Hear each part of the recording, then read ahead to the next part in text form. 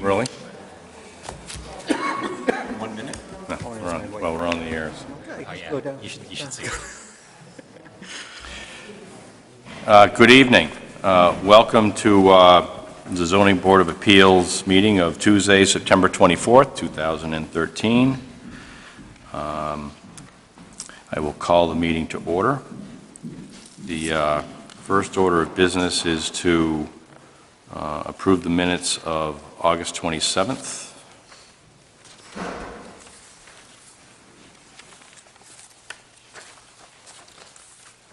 I move we approve the minutes of August 27th. Second that. Any discussion, comments? Okay. Uh, All in favor? Any opposed? Okay. Four, five, five, zero with...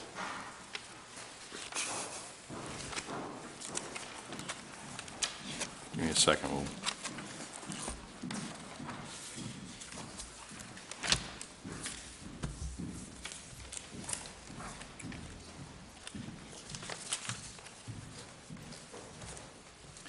Uh, We have a motion to approve the August 27th minutes. uh, uh, That's been seconded. uh, Four against? All four. All four, all right, so that's six zero approval for the minutes.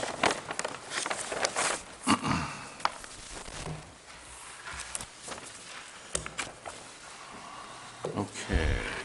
Um, All right, I think we have both some old business and obviously some new business. Um, uh, We have, uh, I think what amounts to two uh, administrative appeals that are looking to be heard uh, this evening. Um, The, uh, the old one would be uh, essentially the the remand of Maynard and Deborah Murphy that came back from uh, the court. We also have administrative appeal um, dated June 3rd, uh, uh, I'm sorry, no, June 3rd. June 3rd, um, concerning uh, the, uh, uh, the issuance by the uh, CEO of a determination of the Shoreland Performance Overlay District.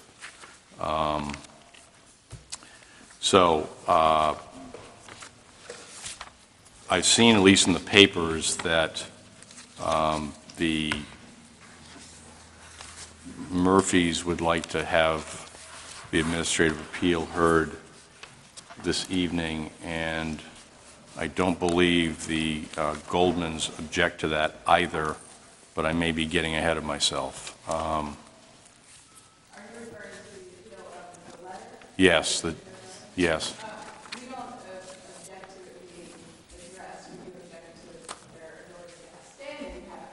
We Okay. And- And Chair, I don't uh, know, perhaps the CEO would know, um, are we allowed to hear something where there hasn't been a public notice that it's going to be on the calendar for the evening? Uh, It's, it's substantively part of the remand, and as the at- the Murphy's attorney pointed out in the letter, uh, he he simply submitted the appeal to protect themselves, but it, it's something that would have been heard along with the remand either way. Got it. All right. And, and they requested that it be combined, and I, I don't think we have opposition to it. Got it. All right. So uh, I I guess a question for um, this board is uh, whether we want to take up both, um, again, the remand as well as the um, the administrative appeal of of June 3rd. I mean, they're obviously linked, so, I don't have a problem with it. Okay. It's my general thought. yeah. I I I mean, I don't, I don't either. Um,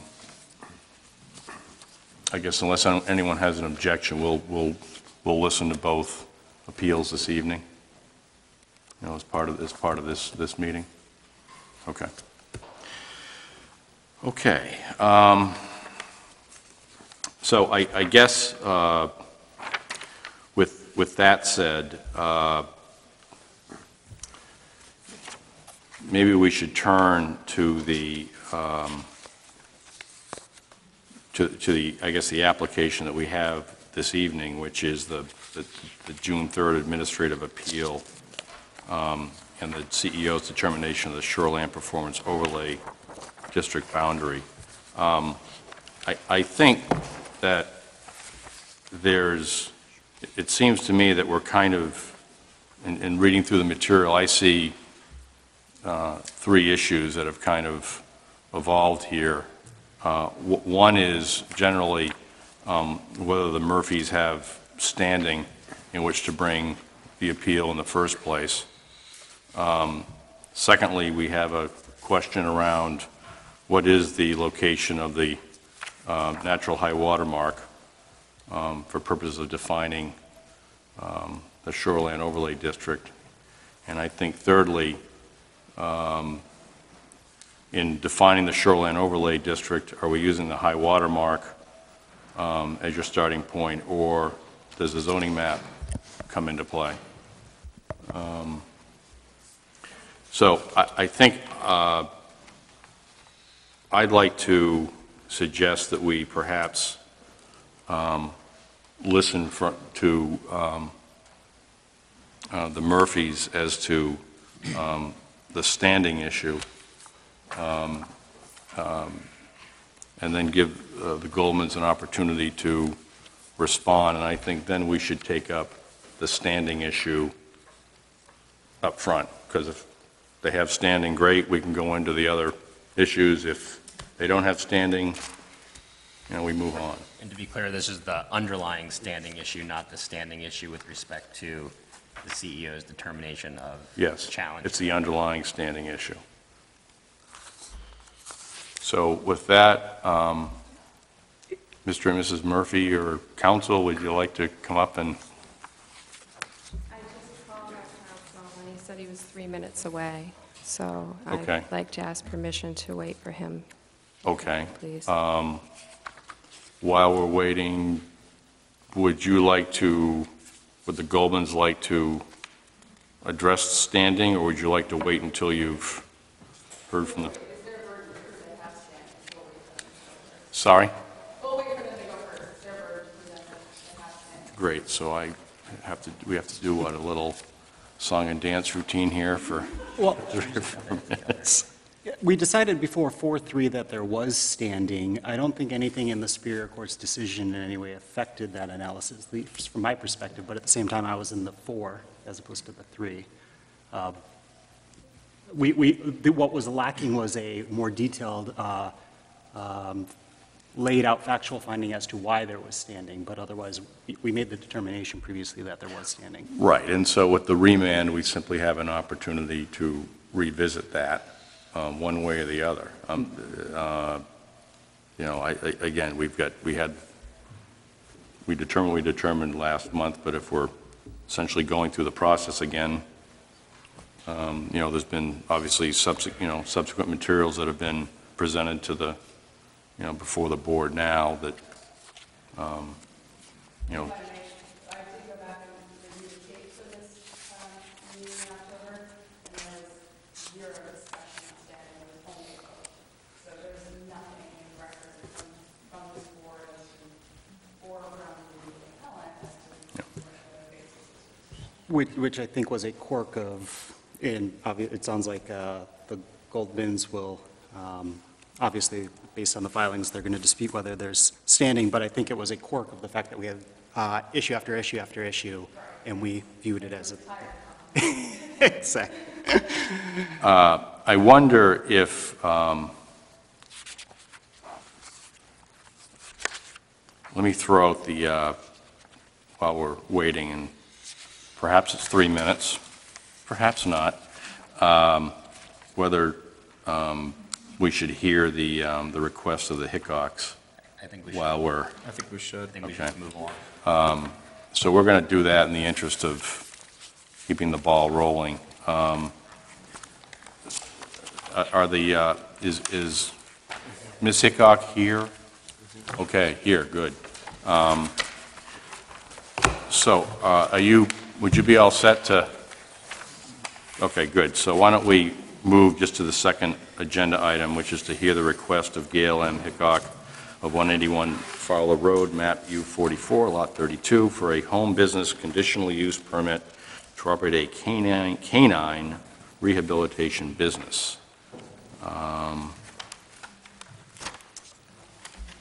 Ms. Hickok, would you like to, yes, come on up and,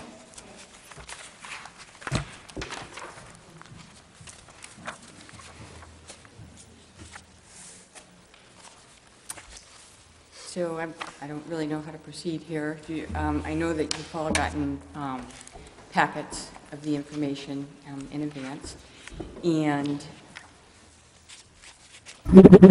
Okay.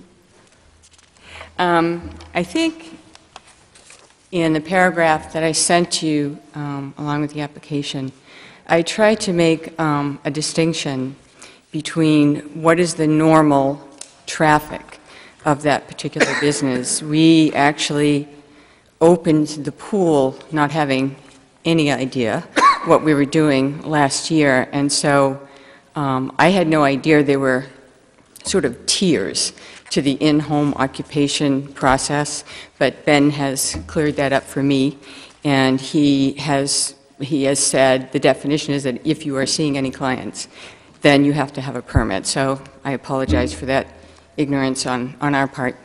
Um, So at any rate, um, we, we started seeing a few um, animals there last year, and again, no real idea what might happen, because it was, we didn't open until midsummer. But this year, we opened um, around the 1st of May. And so the traffic typically for a business day is that one animal at a time comes, um, generally no more than four to six clients a day. Um, I think you've seen in your packet, packet that I put pictures in there showing that we do indeed have a turnaround so that people can turn their cars around and drive facing out. Um, So I, I think um, th- there was an issue that came up, and the reason the issue came up um, this past August is that there was a rather famous photographer who um, wanted to come and shoot for his next book in that pool. Not, this was not part of my business. This was a- an event, completely separate. And so we agreed to have him do that. Um, We scheduled all attendees. Um, We had parking attendants. All parking was done in our driveway. Um, I believe then, at that point, uh, a complaint went into the um, police station because the first time frame was on a Sunday from, two hours, from 9 to 11, when we had puppy practice for the shoot. And uh, so, but, but everybody was, um, I think, acting accordingly, very safe. I didn't see anything hazardous. And in fact, just to make sure, I did have a conversation with dispatch at the Cape Police Department um, early September. Um, I really wanted to, to get a copy of any kind of complaint, of the record, the dispatch record, to see what had happened resultant of the complaint. And according to the dispatch, he could not give me a copy because there was no report. And I said, what does that mean? And he said, that means that we didn't have to do anything, that there was no danger, we didn't have to stop you, we didn't have to call you or anything. So in terms of the event, um, I, I think that the complaint was directed to the event, I'm not sure. Um, That uh, the Cape Elizabeth Police Department found it not to be anything hazardous or dangerous or anything of that nature.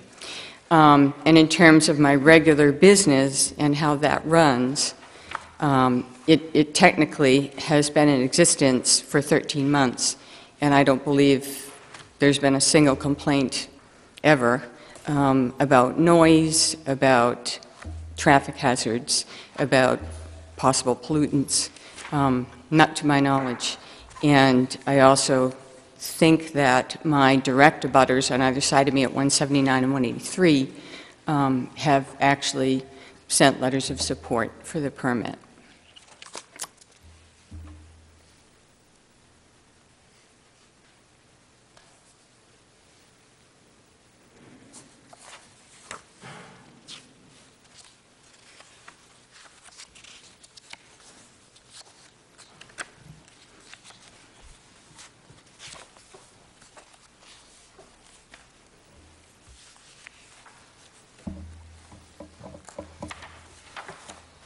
Chair, if, uh, if I may. Yes. Uh, I'd recommend that we start by going through the criteria for uh, home business uh, in the definitions on page nine.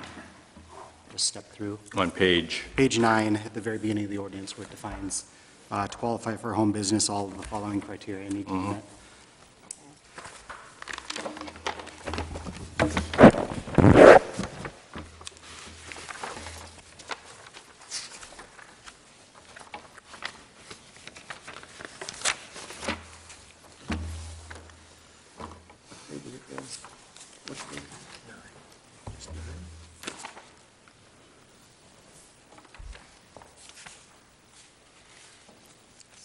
Under the heading home business.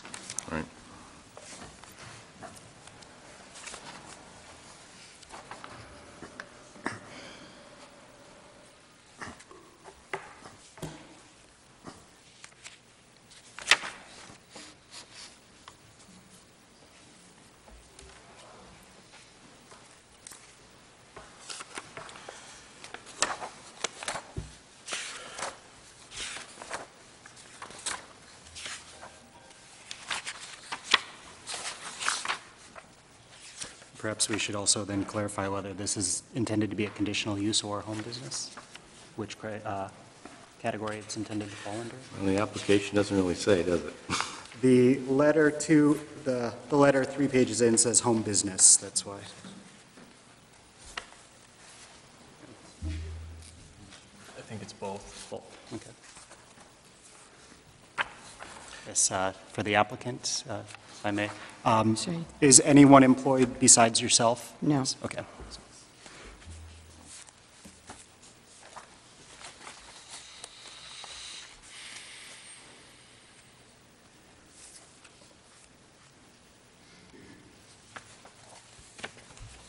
Did you obtain an estimate as to the overall amount of vehicle traffic on the street uh, that the building is on? I'm going to guess the answer is no, but The answer is no. But uh, the average daily traffic is um, over 10 trips a day? To- Uh, to me? There and back uh, uh, for business traffic. I- So in order to qualify for a home business, and we're, it's up for discussion whether there's a home business or conditional use. Okay. Uh, In order, there's seven criteria to be met for a home business, one of which is the, uh, the nature of the business or professional use shall not increase vehicular traffic on the street by more than 2% of the current average annual daily traffic, or 10 trips a day, which is ever, whichever is larger. So uh, some applicants rely on just the 10 trips a day, so they don't have to figure out what the average yearly traffic is on the road, because that can be a hassle. So the easier is simply to say whether you meet the, there will be less than 10 trips a day. And a trip is, going in is one trip, going out is a second trip, is my understanding. So Okay. I believe that's correct. So if you have five customers or less um, a day, then you would meet that criteria. So I guess the question is, your average amount of uh, business coming in and out, is it less than five customers a day? Um, Average is probably five or less. Four, four to, s- you know, four to six occurrences, five days a week, so it's under the 10. Although the six then goes to 12, so. Each occurrence, occurrence is a visitor. Oh, well, I thought you were asking for the average. Is your four to six per, per trip or per occurrence? This is four to six clients are typically scheduled, so So it's that'd be eight to Yeah. 12. eight to 12? And your visitors, do they park while they're there with their animals? Yes, that's what the turnaround is for. I- So they park on the street, or No. They park on your property? No, I, I think there are pictures, actually, of the turnaround in your packet. Um, I'm, I'm just trying to step, I, I, I apologize if some of my questions seem redundant of what's in the package, but I'm just trying to step through the criteria so we can just check. Okay, that they're- sure. So, but there is parking provided for visitors and it's off-street, it's on your lot. Yes, that is correct. And do you have any sign advertising? No, Is there any outdoor storage of equipment or material Uh, no, I mean, there's the pool itself, be- beyond the pool itself? but that's it. Do you use the pool for purposes other than the rehabilitation of the animals? Um, It's a, it's a family Pool as well, recreational family pool. How many dogs do you have there at any given time? One, Just one? yes. Do do you have any pets yourself? Yes, I have three dogs. Have you made any- any, outside of the, just the pool, the pool itself, have you made any- any external alterations of the building or the site um, specifically for this business? No, So uh, for the pool, for the, the animals themselves, is there specialized equipment that's used with the animals that's stored outside? Um, nothing other than life jackets.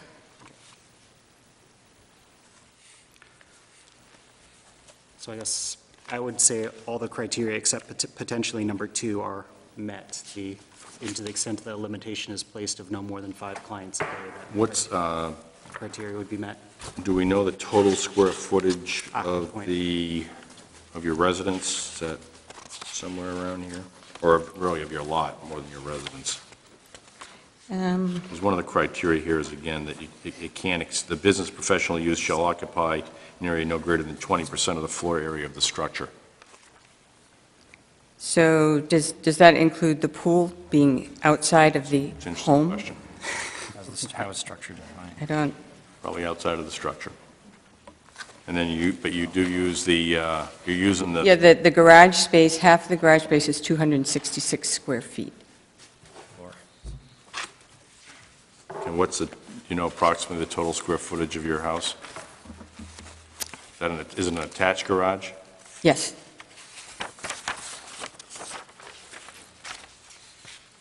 According to your, oh, it should be right here on the, uh, shows 45 by 24 approximately for the dimensions of the house. that's what I'm, yes, that's what I'm seeing here.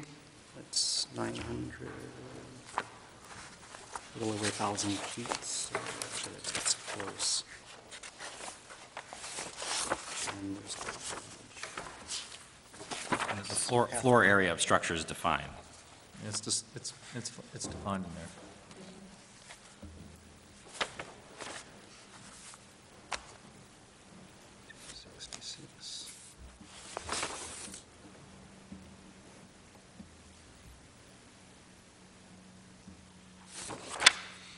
So, I'm sorry, it wasn't, it was, it is under 20%?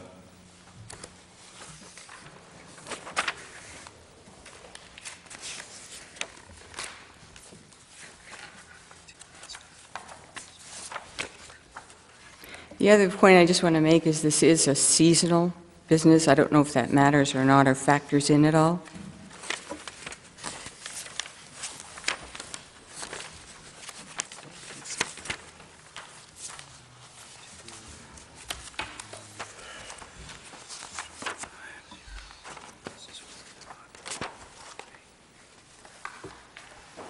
So if I did my math right, it looks like it's a little over 1,600 total square feet for between the house and the garage. Times .2 is 320 feet, and the used area is 266. So it's below the 20%, assuming that garage is included in calculating Yes. with the additional wrinkle of what's the effect of the pool. I mean, pool doesn't fit into that Pool hasn't definition. fit in at all. Yeah. I believe the garage does, though. Right, Yep. it does, but not the,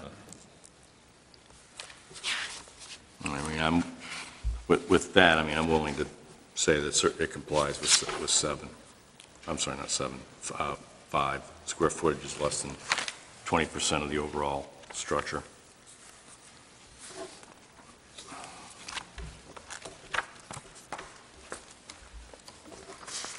So, so long as the number of clients per day trips in is uh, less than five, you would, I guess we'd have to take a vote to make sure that we all agree on this, but you would qualify as a home business, it sounds like, is where we're, we're heading towards.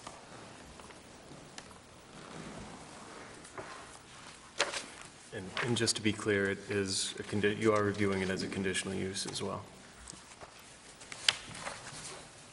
If she wanted to go above the five, or if she, as the- that, that's the, the interesting wrinkle of if she falls under home business, Do we even need to reach the conditional use application?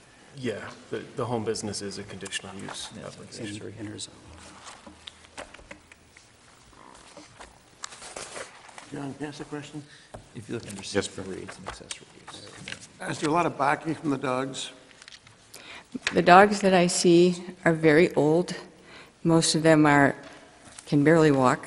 They're all under control. They all come leashed, and they move immediately into the garage. And there is no, in fact, I'm going to be honest, the poodles across the street bark way more than any of my dogs do. Okay, thank you. Yeah. And then when the um, dogs visit for the therapy session, do they interact with your dogs, which could No. cause barking? or- Not at all. No. I suppose if there's any problem, the neighbors will come and say so. And Uh, presumably you have uh, some system in place to clean up of any uh, dog waste? Yes, we're we're very, we're very good at that. We're very efficient.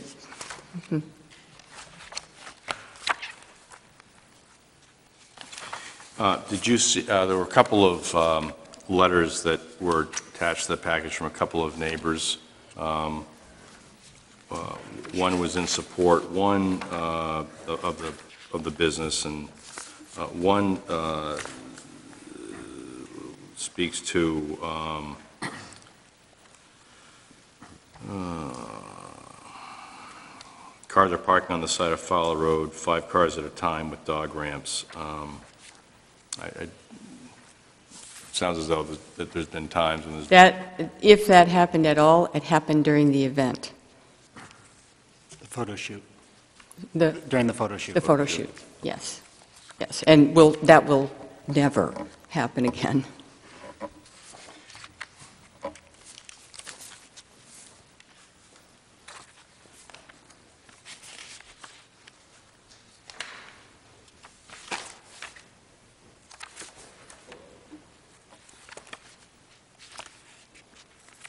In dogs being dogs, um, the cleanup of, the- of the- the dog's waste, is that all kept? They, they don't roam off your property at all? Absolutely not. They're always leashed, you know, and, and I'm always out there to direct the people to come right into the garage space. And of course, we always pick up.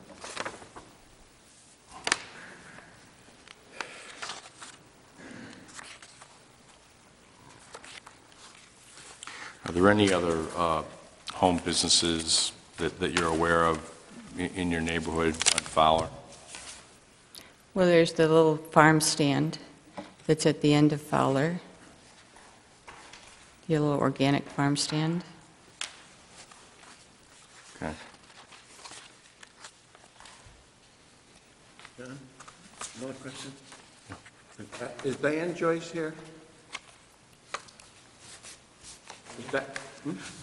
Uh, Diane Jo- Joyce wrote quite a letter.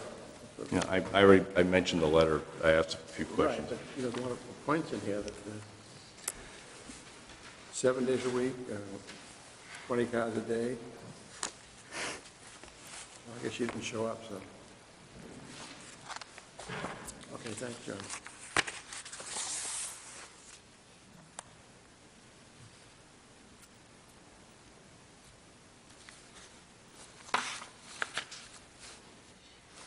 Anyone else have any questions for the applicant? I had one question. Under the um, conditional use uh, section, there's a, uh, I guess, a performance guarantee. I'm not sure what that would come under, other than, would your business be insured? Or does it have, uh, other than the homeowner insurance? would it be independent? I have professional liability insurance to a million dollars. Thank you.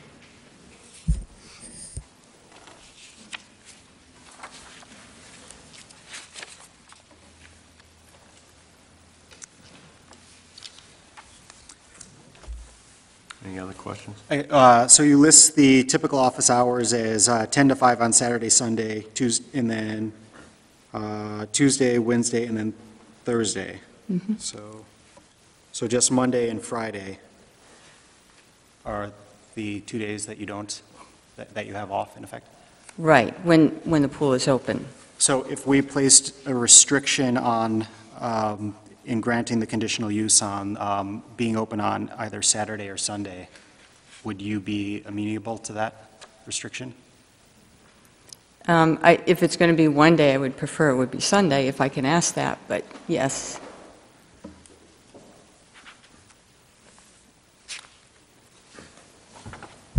Sorry, uh, Chair, can I have a question across the uh, board? Is the idea is to limit the time that the business is going to be open to five days, or is it a potential up to six days? It's, uh, I guess my thought is that if it's a home business, normally when I think business is, I think Monday to Friday, and then people are home, and if people, for people that are working, if an activity is occurring during the workday, it's not going to impact them as much as if it's occurring on the weekends. Obviously, not everyone is working uh, nine to five jobs.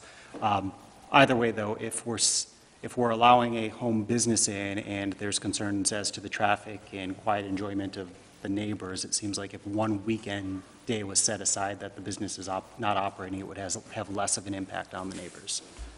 And so that, under that discussion, Sunday would be uh, per- perhaps the day that there would not be a business, but the applicant would request that that Sunday be included as part of her days of operation. Oh, I, I might have misunderstood. I thought the applicant said Sunday's the day she would, if she had to choose between the two, she'd rather be You- open on Saturday. You are So- correct.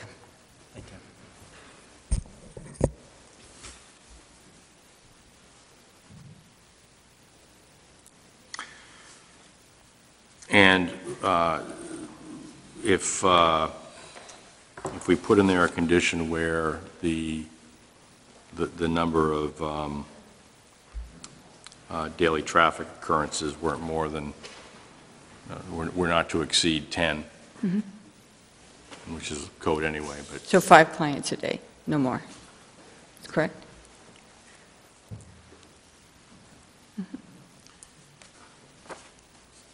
I guess the, I guess I would uh, like to hear your thoughts on whether having this, uh, this home business has any impact on the property values of your abutting neighbors, or guess your neighbors generally. Um, Well, you have a letter from one of my abutting neighbors, and I, I thought you were going to have a letter from the other abutting neighbor, but I guess that didn't happen. But there, we've never, I mean, we've been there 13 months, and we've never had anything but pleasant conversations with them, never, they've never had a problem with us.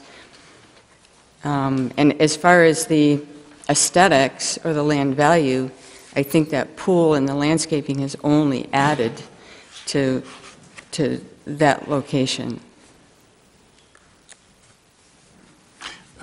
You've lived there thir- 13 months? No, no, no, the, the pool has been open there Yeah, for okay. 13 months, How long have you, how long have you lived there? since 1995.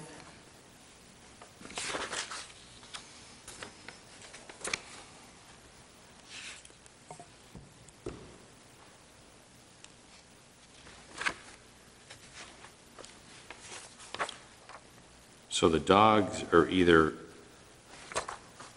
in the garage or they're in the pool or the surrounding area? That's it. That's it.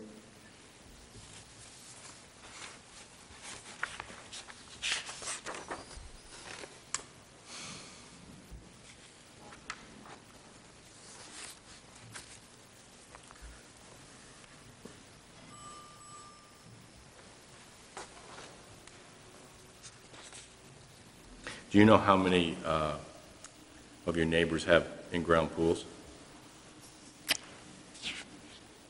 Well, 179 does. I think 185 does. And there's, at least, there's one, a house for sale down further on Fowler Road has an in-ground.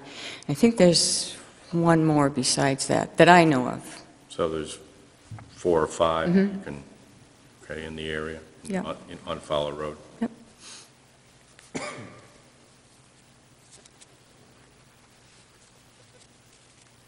I'm just kind of going through the s- standards of the conditional use and just getting comfortable with the, uh, the home business and its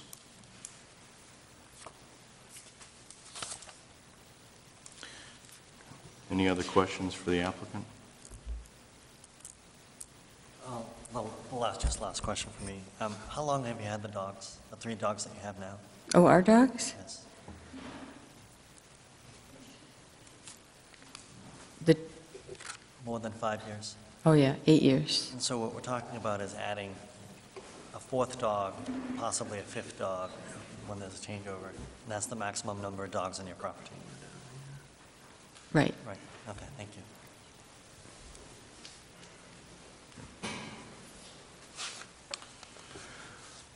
Okay, thank you very much. Uh, Any uh, uh, comments from the, uh, from the public concerning the application? Yes, sir.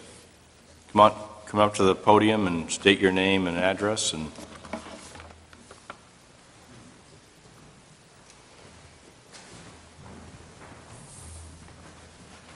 Hello, my name's Byron Castro. I live at 185 Fowler Road, two houses down. Um, I will give her the compliments. Yes, I haven't heard any noises. Everything's been good at this point. Only thing I have for concern is, is I've lived in a neighborhood where home business has been done, it's kind of gone awry. So I have a couple concerns of, of, that I'd like to address. Um, Is there any overnight allowed dogs to be staying overnight? Obviously, if you have four or five dogs staying overnight, that's going to be an issue that anybody would have, I think, with, with the plan. What I understand, it isn't, doesn't sound like it is, but I want to make sure that that gets addressed as a, a, a idea or a problem that can go arise. Um, For traffic, I haven't seen any increase of traffic for her at all. I think I've had more traffic than she has, and I'm, we don't have that big of, uh, it's mostly family, so I'm, I'm saying on the car issue, I don't think there is one on that point. But my biggest concern is, is this becoming a kennel, or, you know, having large amounts of dogs where it becomes more than just a, a small business, one or two dogs, you know, having a couple dogs, done guiding eyes for the blind in our family also. You get more than a couple dogs or three dogs or so, you're gonna have barking. And again, I haven't had any issues, but I wanna make sure that this is addressed before we get this home business.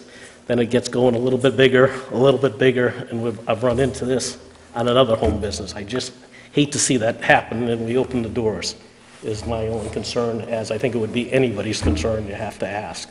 You know, you, you know, smells and stuff, and what I, I didn't know, and I'm sorry, I didn't get to find out a little bit more before now, but I think these are questions that have to be addressed anytime you have animals that, you know, we gotta look at, is this opening the door to a bigger thing?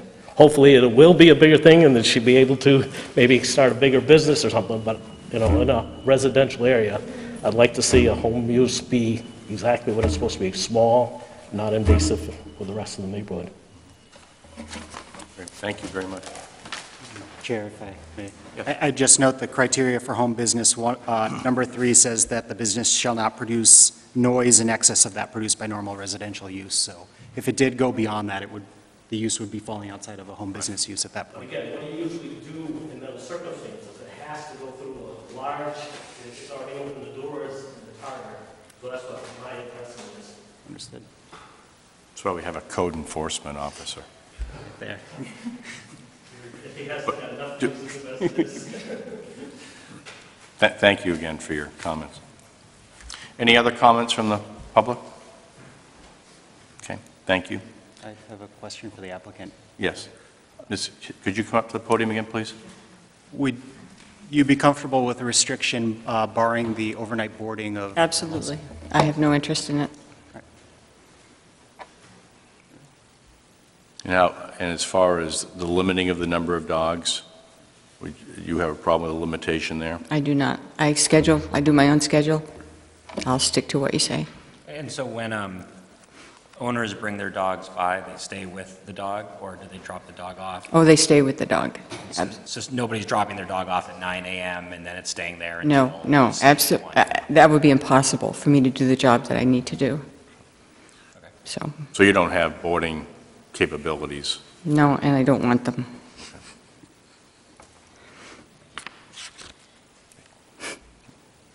Anything else for the applicant? Thank you very much. And and also, I had a sign, a no signage uh, as one of the conditions. Well, let's Do you, you don't? uh, I've never had a not looking to Have signage, are you? No, never had one. Don't intend to have one.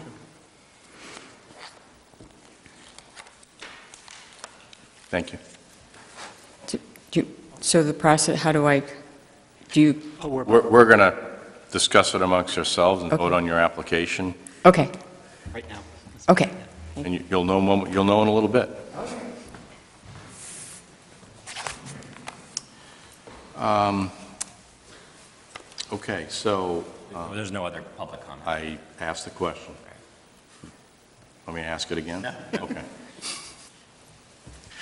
Uh, So I guess we'll uh, do our board deliberation here, and um, I think, Chris, thank you for walking us through the definitions of the, uh, the home occupation and uh, criteria, and uh, I, I think we've basically satisfied ourselves that it, it does qualify as a, as a home business uh, under the, under the ordinance.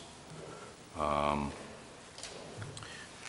uh, Under the, the RA um, zoning, um, there is an uh, accessory use for a home business, so it's, it's, uh, it's allowed under the RA district. Um, You know, I, I, we, I- think as far as this- the standards of conditional use, um, I I think, subject to kind of maybe some of the limitations we want to put in place, that, um, you know, I'm I'm generally satisfied that, that, um, you know, the business would meet those. I, I would want to put a limitation on uh, some of the things that, that Mr. Castro mentioned, um, but um, a limitation on the number of uh, vehicles per day, um, you know, a no boarding condition. uh, uh, You know, I, I, I I don't think we want it to be a kennel. I think there is a sensitivity to barking noises, you know, too much barking, and despite what the ordinance says, I think that uh, it sounds as though um, uh, Ms. Hickok is, you know, basically limiting this to, you know, a dog per visitor, so it's, you know, I, I think there's probably a, a conditional, condition we want to put there. Um, So, uh, you know, assuming we can, you know, do that, I'd be, I'd be supportive of the application. And the only additional one would be the uh, point about uh, uh, not operating on at least one weekend day and perhaps limiting the business to five days a week in total. Uh, Well, I guess the question, uh, uh, do we know what the hours are right now? We believe it. Not, oh, yeah, Isn't 10 10 to 5, and we're held 10 10 to 5 Saturday, Sunday, Tuesday, Wednesday, and Thursday. So Mondays are off. And just to leave flexibility as to which days during the week, I would say five days a week maximum, of which one may be a weekend. Or explicitly say, uh, not in Sundays off limits or something similar. So, yeah, so five, yeah, fi- five days a week, um, which, which may include up to one weekend day, um, between the hours of 10 and 5.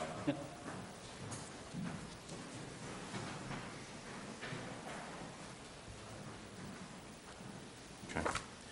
Uh, Anyone else have thoughts as far as either the application generally or uh, any restrictions they may want to put uh, on it if it were to be approved?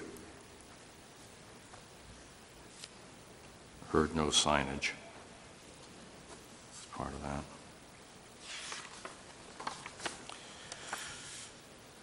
Okay.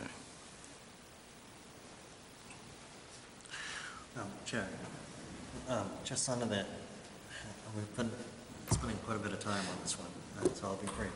Under the home business, there's a provision under paragraph six. It says all sign, all signs shall comply with sign ordinance. So one could argue that she has the right to have a sign, and that right can only be within the, um, uh, within the sign ordinance. unless we're saying that we are within the discretion of the board to restrict that, carve out that right. So I'm just saying that I don't think the sign came up, but I'm just putting that out quickly. Well, the sign came up only that we asked the question whether she planned to have signage or not. The answer was no. Should have as a restriction, it's a residential area. I think it's proper to make it, to make it a restriction. And then if she wants to add a sign in the future, she could always come back and request a change at that point. It could be revisited.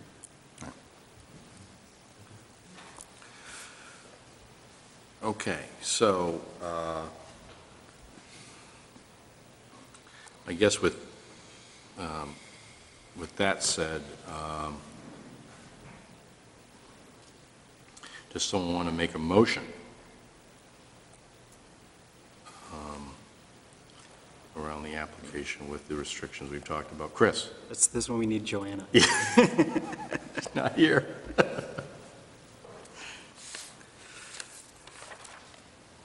I move that we grant the request for a conditional use permit with uh, the additional conditions placed of, um, that the business may be, may operate a maximum of five days a week, one of which may include a weekend day, and that it operate between uh, the hours of 10 and 5.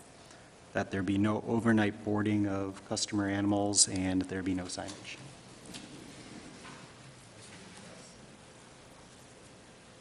And did I miss any additional criteria? It- It's probably left on, I mean, it's in the ordinance, but we're, The- The vehicle traffic, Limited to five visitors a day. which is the, duplicative of the which is, the ordinance. which is the ordinance, so it's, um, the only other, I guess, question I have is whether we want to limit the number of vehicles that could actually, you know, client vehicles that could be there at a given point in time. With, so to continue my motion with the conditions I laid out so far and the additional condition of no more than one client vehicle at a time? Well, Was that the- may overlap. Well, I I guess I- if, if you're saying one- one, you know, if you're saying one client um, is, is, is there per visit, then I suppose, well, I suppose you get that covered either by limited to 10 trips per day in a way. right? You indirectly get there that way. Although technically, all of the clients come at 10 AM. You'd, you'd have five additional dogs plus the additional three, then you'd have eight dogs there until the end of the day. It's five, five, five, seven. Yeah, I gue- yeah, I guess that's, yeah, exactly. So I guess the point is to try to avoid that year restriction. Yeah, I think we're trying to avoid a situation where you've got, you know, five cars on a Fowler Road at a given point in time. And it's a situation that's never going to happen because there's only one person dealing with dogs. I understand. But, So do you- but I think, I- no, I think it's useful to have the restriction that, but I, I just wouldn't want to have the restriction prohibit an incoming dog and an outcoming dog Understood. overlap. It's that transito- transitory uh, nature. What's it Explain called? that. If There's five dogs, there's five owners, they stay with their dog, five cats. Yeah, So we're saying that would not be allowed, but um, Mr. Carver's concern is the situation where client A is showing up as, cli- or client B is showing up as client A is leaving, and there's overlap for five minutes. So Why would you, why would you do them? Oh, be- because uh, there would be appointments during the day. The, um, Client A would show up for an appointment from nine to, nine to four, or not- let's choose smaller, from nine to 10, and client B shows up for an appointment from 10 to 11. So even though only one client's being seen at any instance, there is a period of time when both vehicles are there briefly. I'm less concerned with the overlap. I'm, I'm, I'm concerned more with all five clients, you know. It, it, it- it sounds as though it's a practic, it- it's not, it's not a reality in this particular case, but But we should still have it. it's like Scope creep, you know, it, it could be down the road. So I'd rather just avoid, you know, five cars are there dropping off five dogs. The owners stay or they don't stay, whatever, but you've got, There are no more than two. that's, I'm kind of thinking you've got no more than two client vehicles would be there at any given, you know, at, at- at any given time. So uh, then I would amend my motion from no more than one client at a given time to no more than two client vehicles at a given time. I guess then, is there a second? Motion as put. Second.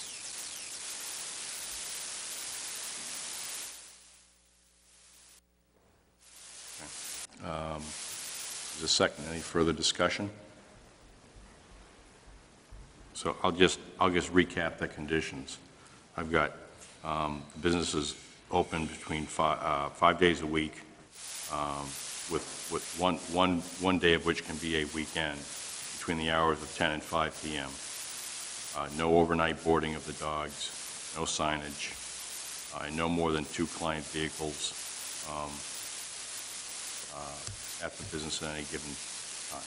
And the only part I'd note is just for, to avoid any confusion, no overnight boarding of the customer's animals, so obviously her dogs can remain overnight.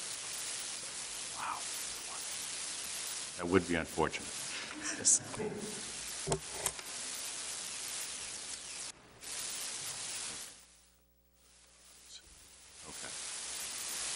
Okay.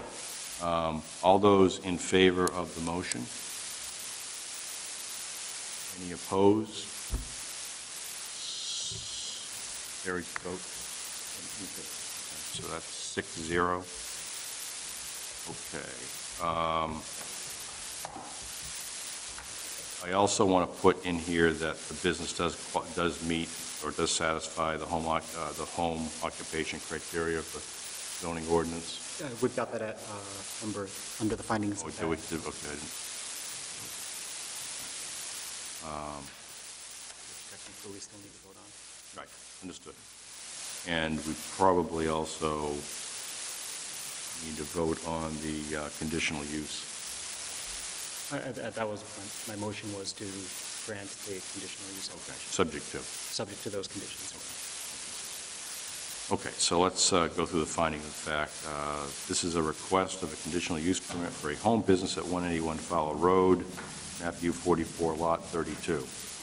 Robert and Gail Hickok are the owner of record for map U44, lot 32. The proposal is consistent with the definition of home business found in section 1913 of the Town of Cape Elizabeth zoning ordinance. Proposal satisfies the requirement of section 1955 conditional use permit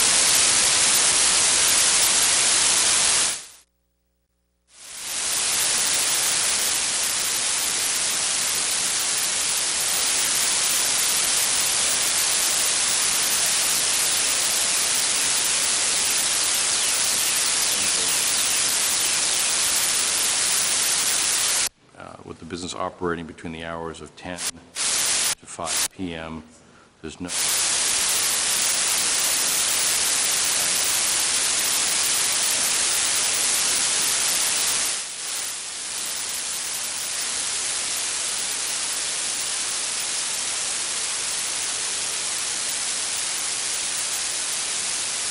Opposed, six...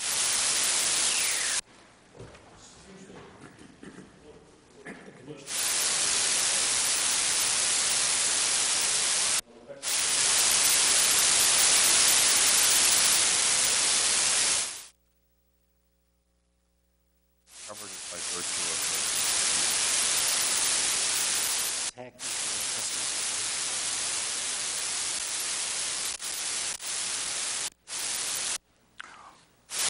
the... Technically. Didn't cover that one. Sorry.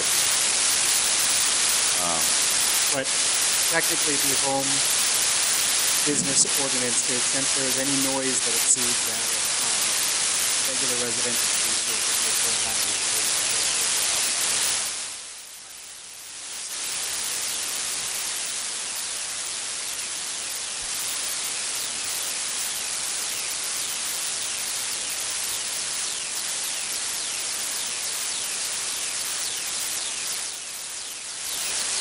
That's one of the conditions of home business.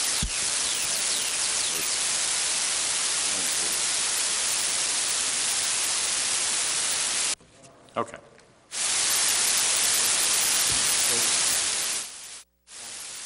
Closed, or something like that.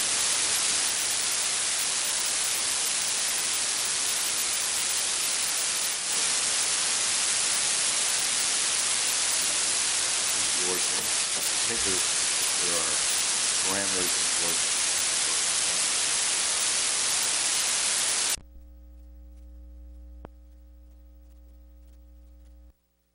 Thank you. What, we have another one? Okay. uh, I guess that now brings us back to um, the administrative appeals. And where we left off was the uh, Murphys were going to uh, come up and uh, speak to us concerning uh, standing.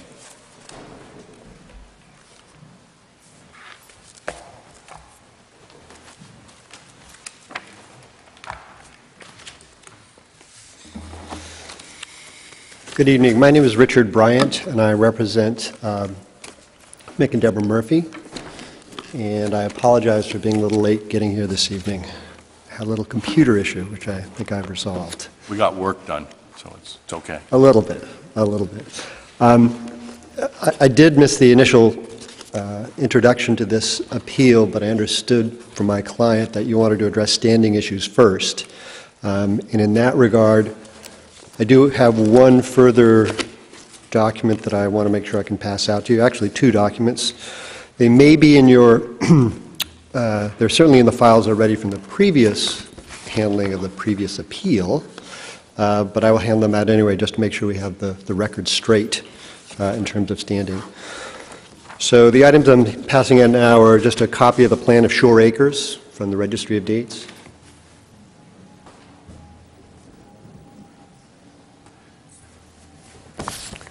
Uh, Mary, do you need a copy over there?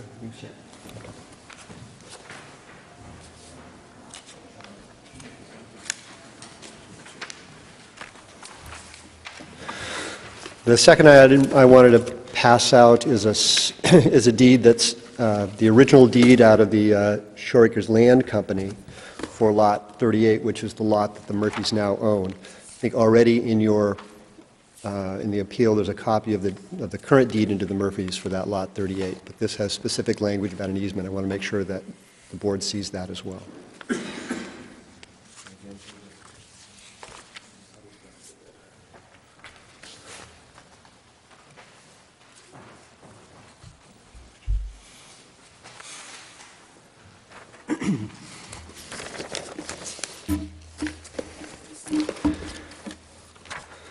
Pardon me a moment.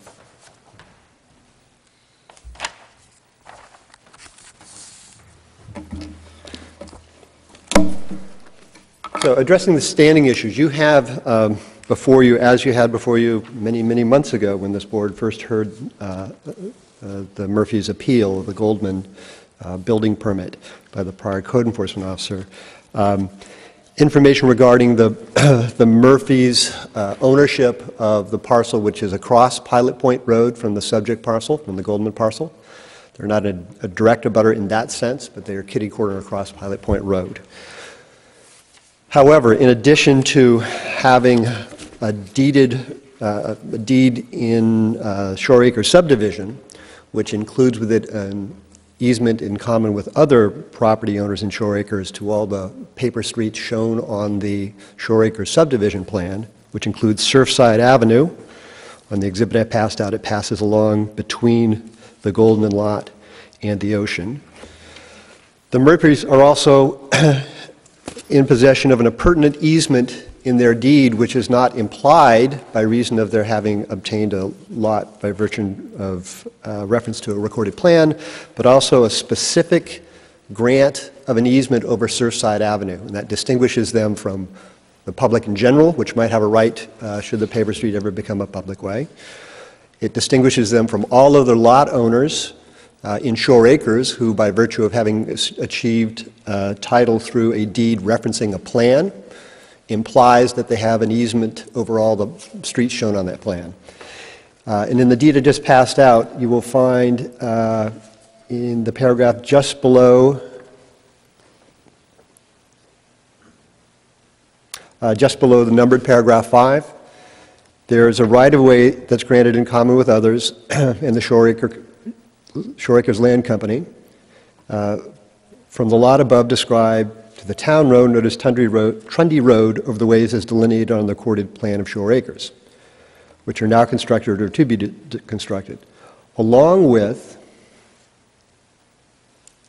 find it here, Um, an easement in common with others in said Shore Acres Land Company, its successors designed over and along Surfside Avenue and Oak Road Road as delineated and recorded on plans of Shore Acres. So that last section of that paragraph does more than just say, you have a right to get along paper streets to the public road. That gives a specific right to those specific um, roads as shown on the plan, and one of those named roads that they have a deeded right to is Surfside Avenue. And I can tell you, having looked at dozens and dozens of uh, titles with respect to other lots in the subdivision, the Murphys are one of a minority of lot holders who have a specific deeded right to Surfside Avenue. Other lot owners in Shore Acres have rights which arise by virtue of the plan, um, but the Murphys have something more than that. So what we have uh, in terms of standing for purposes of municipal appeals of building permits uh, is an extraordinarily low standard. And if- if you actually look at the remand by the Superior Court uh, of the recent uh, appeal that was uh, sent back to you for de novo review, the court in that case notes that the bar, excuse me, that the standard for standing is a very low bar to meet, um, but does say that if, uh, if the Goldmans want to raise that issue, that it should be raised. So what we have here is a property owner who has a deeded, specific deeded right in land that's immediately adjacent and downslope of the property at issue. So the runoff, which is affected by the uh, impervious surface on that lot, flows from that lot onto their deeded easement right. So if there were some circumstance in which the Goldmans um, directly diverted water onto that easement that they have a right in, or otherwise directed pollution or excess runoff onto that easement, my contention is that the Murphys would have a right to go to court to bring an individual trespass action against the Goldmans for im- imposing upon their property, that is, their deeded interest rights in the right-of-way. So I don't think I need to show anything more than that. As I said, the case law is very clear that the, that the bar for standing is very low. Uh, You simply have to be, in most cases, have to show that there's some uh, proximity to the uh, property at issue. Uh, And in this case, we can show more than that. We can show direct abutting uh, ownership interest. We can show that the purpose of the, uh, of the ordinance which we're attempting to enforce is to protect against runoff from the property, which is upslope from us. And I think that that solves the standing issue. But I'm happy to answer any questions anyone has about that. Just a a couple questions from me. So uh, on the, on the map you handed out, Mr. Bryant, where is the Goldman's, or give me, give me the lot number of the Goldman's property and the Murphy's property? I- I wish I had uh, this blown up. Uh, It's on my computer someplace, and I can get it up on the screen, I hope, in a bit, but I didn't think we'd necessarily need it I see here. Surfside Ave, if that helps. Right. Surfside Avenue is along the bottom of the, of the map, That one we got. Uh, and you see something called Oak Grove Road, Yes. which is the road above that. That is now Pilot Point Road. right, got that one. And the lot number that the Murphys own is lot number 38, which is uh, the third lot from the left of Wambeck Road, which uh, you see cuts north from uh, Oak Grove Pilot Point. Left, 55.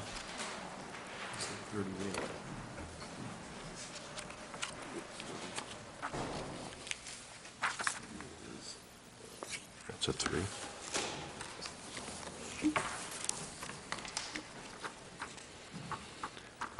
And like I say, that map and the reference to this, references to the specific lots were also shown, uh, presented in the original appeal that, that is in the town's records. So we think we found, so the Goldmans are 17 or, well, which one would the Goldmans be? Actually, Mary, I'm going to ask you to help me on that. I don't have it right in front of me. It's much easier for me to look at the zoning map and show you on the zoning map, but they're essentially kitty corner. Um, I believe it is, I believe it's 17 and 4.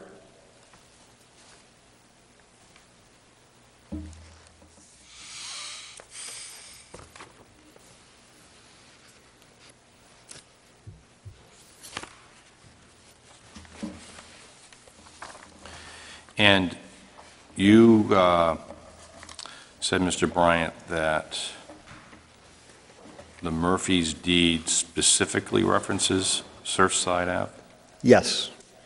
In- What happens is the deed into the Murphys references Lot 38, as shown on the plan. That's the, that's the, the current deed into the Murphys themselves. Yeah. The right-of-way is an appurtenant easement. And appurtenant easements travel with the fee interest of the benefiting property, even if they're not mentioned in the deed. What I provided to you is the original deed which creates that appurtenant easement coming out of Shore Acre Land, Shore Acres Land Company, um, to, I think it's called Bragdon Paint Company, I don't have it. But, but the Murphy's deed's referencing this The Murphy's deed as has- opposed to a specific reference to Surfside Ave in their deed, just so I'm clear. That's correct. The chain of title is such that the Murphy's deed shows that they have Lot 38. General title law in the state of Maine makes clear that if you, that if you obtain title by a description of a parcel in which you obtain the fee interest, that all the appurtenances that benefit that parcel travel along, along with it, whether or not it's mentioned. So you don't have to repeat all of the appurtenances down through 100 years of chain of title every time you deed somebody a lot. Um, Instead, you can deed them lot number X, and if a previous title holder had obtained a specific easement that benefited that lot, then that's automatically passed along to you as a matter of title law.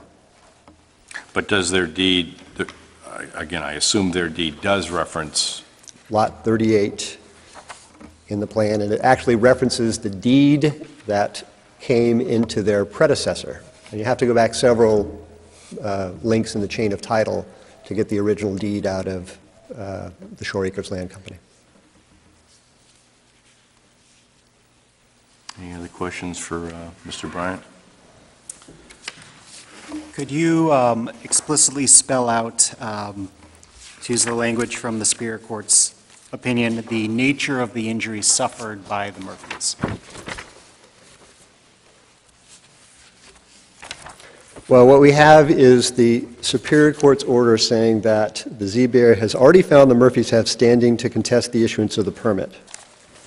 So you voted unanimously that there was, I believe unanimously last time. I think we went Uh, 4-3 last time. Okay, I thank was- you. 4-3. I was- I was in the four, You're in the four, thank you. but nevertheless, uh, as... By majority vote last time, you voted that they had standing. Uh, Nevertheless, the court asked that um, the nature of the injury be further developed, so if you can explicitly spell out what the nature of that injury is. And I will tell you, the nature of the injury is that they have a a deeded, specific deeded interest in a right-of-way that is downslope from a property which they contend is violating the shoreland zoning maximum impervious coverage uh, regulations, which will result in additional runoff and pollutants flowing from the Goldman property across their deeded right-of-way. Will that in any way impinge on their ability to travel on that easement? It's a matter of degree. It may and it may not.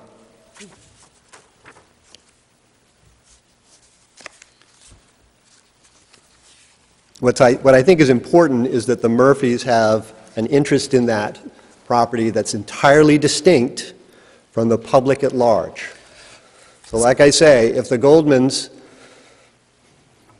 pushed waste over the edge of their property and onto that right-of-way, we would have a specific, we would have a right to sue for trespass for them impairing our right-of-way. So I, I would definitely agree with you that they have a, um, a property interest that's distinct from the public at large, but we also need to show what the nature of the injury is to that property interest. And you're saying um, theoretical runoff that might or might not occur. Well, I'd say it, there are actually probably other um, injuries that one could articulate.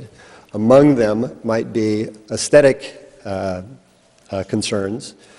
Part of the shoreland zoning ordinance talks about uh, visual access along the shore, and by place, by removing what were some very discrete steps uh, from the upper po- portion of the Goldman property down to where the, um, where the right-of-way is for the Murphys, Surfside Avenue, that's now been replaced with a pretty large and imposing uh, set of steps which are beyond uh, the limitations set forth in the shoreland zoning ordinance for steps leading down to the shore. And just to be clear, because you phrased it as al- almost a hypothetical, are the Murphys asserting that is in fact an injury that they have uh, suffered? We can ask them, Right. they're nodding, yes, indeed. Yeah.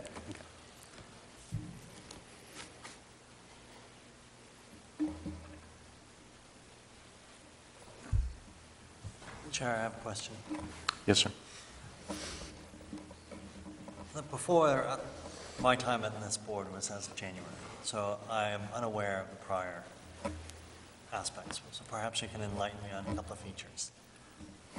Has the applicant, the Murphys, exercised their rights of this easement prior to this type of dispute? Yes. And how did they do that? They walked on the easement, they traveled up and down the easement, by themselves and with guests. So that section of the, pro- of of the shoreline is, the reason I said it, I'm- I'm looking at a, on the Google Maps. And so it, I guess, we can talk further about what, a- what is a paper street. Um, We're talking on the rocks abo- at the shoreline, or we're talking the width of the road as if it's a hypothetical street that they're just walking through, but it's actually woods and debris and up and down terrain? Well, the nature of Surfside Avenue changes as you travel along it. There are some places where I, where it is um, overgrown, and there are other places where it is an open lawn. And there are some places where it is a cliff because the ocean has eroded into Surfside Avenue. So, for me, I'm, I'm trying to tease out of you some information that will be helping us determine the, the, the issue of standing. Because I think there's a, uh, um, trying to understand the, the, the type of right on a paper street, and whether your clients exercise their rights anywhere along this paper street. So for example, did they complain when other people that abutted the paper street did something that may have interrupted their right? Yes. Yes, How they did have. they do that? Uh, They were involved in the abutting property, which also was the subject of a very, very long, excuse me, several very, very long ZBA hearings before this board, with respect to improvements that were placed within Surfside Avenue by that abutter. On the map that you handed out, which house number, which lot number would that be? Um, Very s- hard to read here, but I believe it is 18 and, is that three, I believe. It's the property that's uh, easterly along the shoreline, the next abutting property.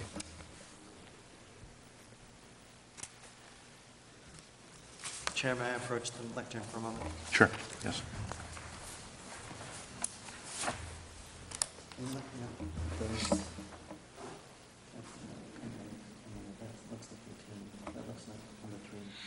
Okay, here, let me, sh- I've got a, got another document which will show, which should orient you much more easily. And this is a copy of the, of a Google map, um, part of the shoreland uh, zone uh, with lot lines as shown from the town's zoning map. And what you will see, and I will hand these out, if I can demonstrate here. Um, This is the Goldman property. The property next door is the Livingston property, which was the subject of various other appeals. And the Murphys live here. I can hand- I have copies of this to hand out. uh, so- So this is the Goldman property. There you see exactly what it is. Immediately next door is the Livingston property that was subject to an earlier appeal, separate appeal, which is still on appeal, in fact. Um, And the Murphys live, I believe, in this house here. So they're not directly across the street, but they are nearby. And Surfside Avenue runs along here. The bottom of the Goldman property is Surfside Avenue, on Surfside Avenue. Just to follow up on this point, but for these two properties, it looks like lots 18 and, and number three on the handout that you gave us. Have the Murphys questioned the use or inter, and, um, uh, encroachment on the easement that's called Surf, Surfside Avenue? Uh, but for those two, those two property owners there, number thir, number three, number 18, anywhere else along Surfside Avenue, have they complained and questioned people using uh, the easement? Um, They certainly talked to me about it. I'm not, it's not a matter of, of, when you said using the easement, I take it you're not talking about others using the easement for access. You, No, I, I want to develop the point that you made, Right. that they're objecting to a potential use of the easement, the ornamental stairs. So if the, um, uh, the Murphys had standing and other proceedings and actions dealing with Surfside Avenue, that may help us talk about this particular application for standing purposes. Yes, they have participated in other uh, appeals, again, of the adjacent property is the nearest one. So far as I know, there have not been other zoning board appeals of other uses of Surfside Avenue. However, they have regularly used Surfside Avenue, and when others have questioned their right to do so, they have asserted, no, we have a right to be here, and we're going to exercise those rights.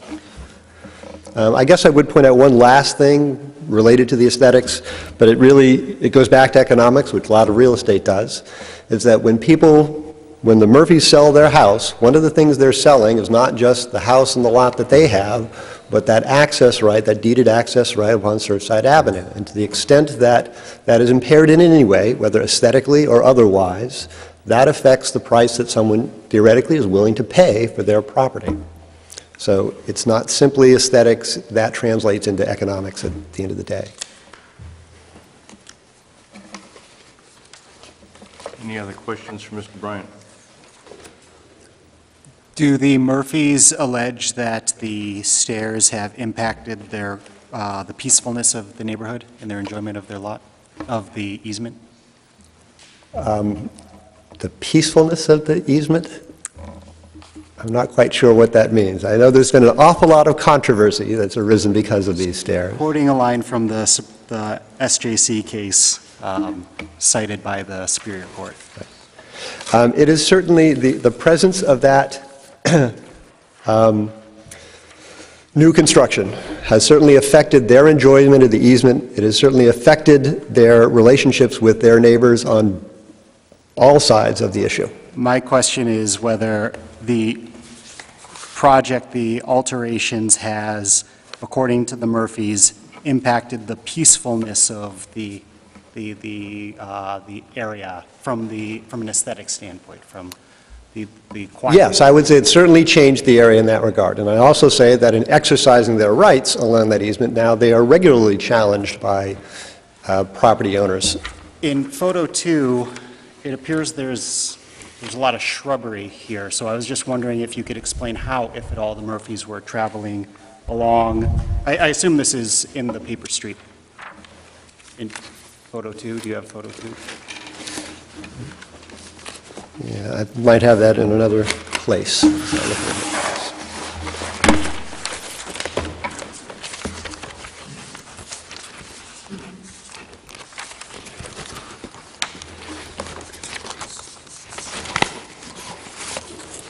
I think three is back the other direction. I can take a look at that one. then. No, no, thank you.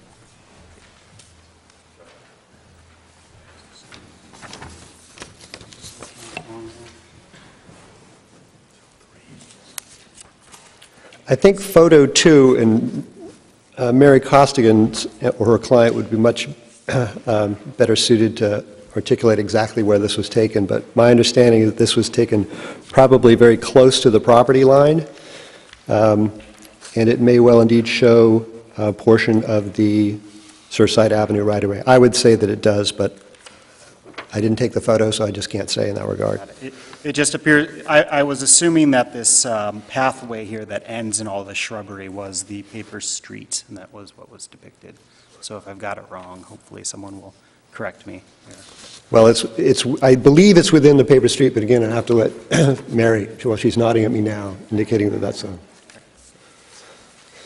So as I say, the paper street has not been developed, that's why it's a paper street. Uh, Some sections are, uh, have more vegetation than, than others. Um, And it is true that the Murphys have not decided to go down and place a path, you know, physically hack out vegetation, but uh, along the paper street, but that's in part because that sort of activity is very highly regulated because it's in the shoreland zone. And they can't do it without uh, seeking approval from the town first. So they've exercised the rights they can without, um, without having to go through uh, any municipal regulatory approval.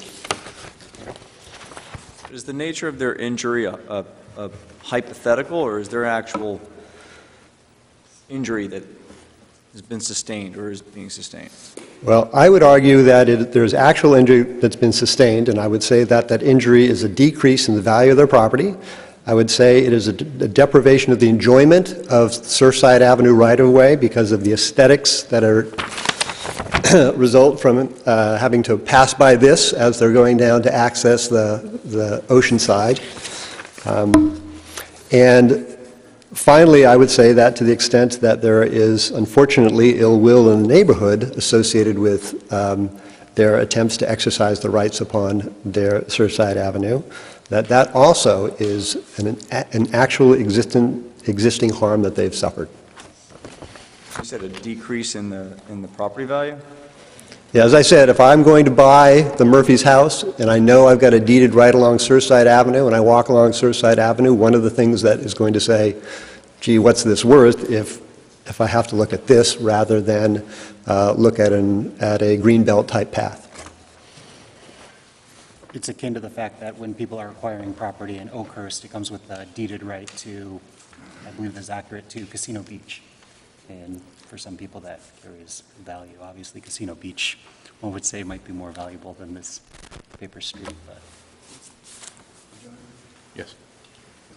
You're not a real estate appraiser. Do you have a backup to that comment, would be worth less money? Do you have an appraisal or an opinion of I certainly do not have an appraisal. I can tell you that I've been a real estate attorney for going on 30 years now. You don't have any real, you really have no background on how to appraise what the value would be, um, do you? Well, I I will tell you that under Maine law, it's clear that owners of property have the ability, as, just as well as any appraiser, to give a value of opinion of their property. And I can tell you from my experience, having been involved in both commercial and residential real estate transactions for going on three decades now, that it is the case that appurtenant easements affect the value of the property, sometimes greatly, sometimes only minimally, but they You don't- affect You value. don't have a document on that, okay? Pardon? But you don't have a, you haven't documented that with the real estate? No, I've certainly not gone out to, to get an appraisal of this right-of-way. Okay. Okay? Okay. Thank you, Mr. Bryant.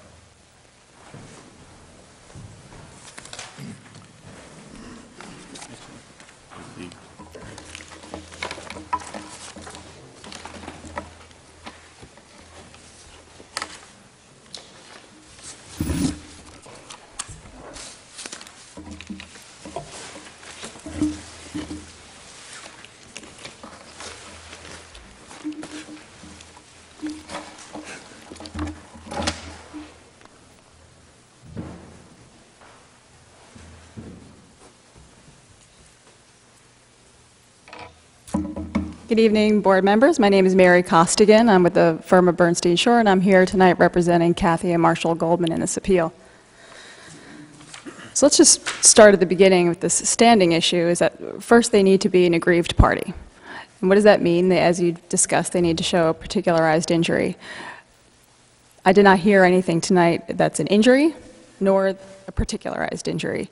Um, They claim to have a unique standing among the neighborhood by having this easement across a paper street. Well, as you may be aware, you're probably all aware that anyone in that subdivision has the same rights. It is not a unique right to set aside. The- Their easement language in their deed only says, "A right-of-way in common with others." That is not unique. There is also an easement in the neighborhood that is a recreational easement that actually provides even more access than just a uh, right-of-way. It's the right and easement in common with another to travel by foot and use for passive recreation over uh, Surfside Avenue. That easement applies to 71 lots in the neighborhood. The Murphys is not one of them. So they do not have any unique use of this easement, of this paper street. In addition to the private rights over the paper street, there is, of course, the public rights of incipient dedication that someday, I don't know how in the world it would happen, but the town of Cape Elizabeth could build a road there, and I have just as much of a right um, to access that road as they do. So that goes to the particularity of their injury. Um, And now just talk about their injury in, in, in general as they claim. Um, This, I'll go through photo one and two with you. I mean, two and three, excuse me. So photo two is taken and the ocean is on the left and the house is on the right. And you are correct that this shrubbery here is right in the middle of um, Surfside Avenue. There is no obligation by any of these property owners to maintain that area in a way that allows access. Um, The Marsh, the Goldmans happen to clear that area, but they're not obligated to in any way. Um, And looking in the other direction, you'll see that there are also uh, obstructed areas of that um, easement. And notably, um, as you're looking in that direction, you don't see the stairs. It's because the stairs in no way impede their right to travel over that area. The stairs are located over 20 feet away from that easement area. And now looking in the other direction, the ocean is on our right and the stairs are on the left, and you can see the stairs. The right-of-way is also a little bit further here. We, we took this picture from a little bit further up, so the right-of-way is actually on that side of the bushes that way. But you can just see how far away the stairs are and it- how it in no way impedes their use of that area. Ca- Can I ask you a quick question? Uh, I can wait, but, okay. Uh, So on that, if you stay with photo three, Sure. to the right of the bush, it looks like a path. It's Your thumb. Uh, Yes. And, and does that, That is what is here. okay. So- So what's the house, i- i- is that the Goldman's house that you see on the right on photo two? No, that's the neighbor's house. That's the the Livingston's, No, it's the other direction. Opposite side of the living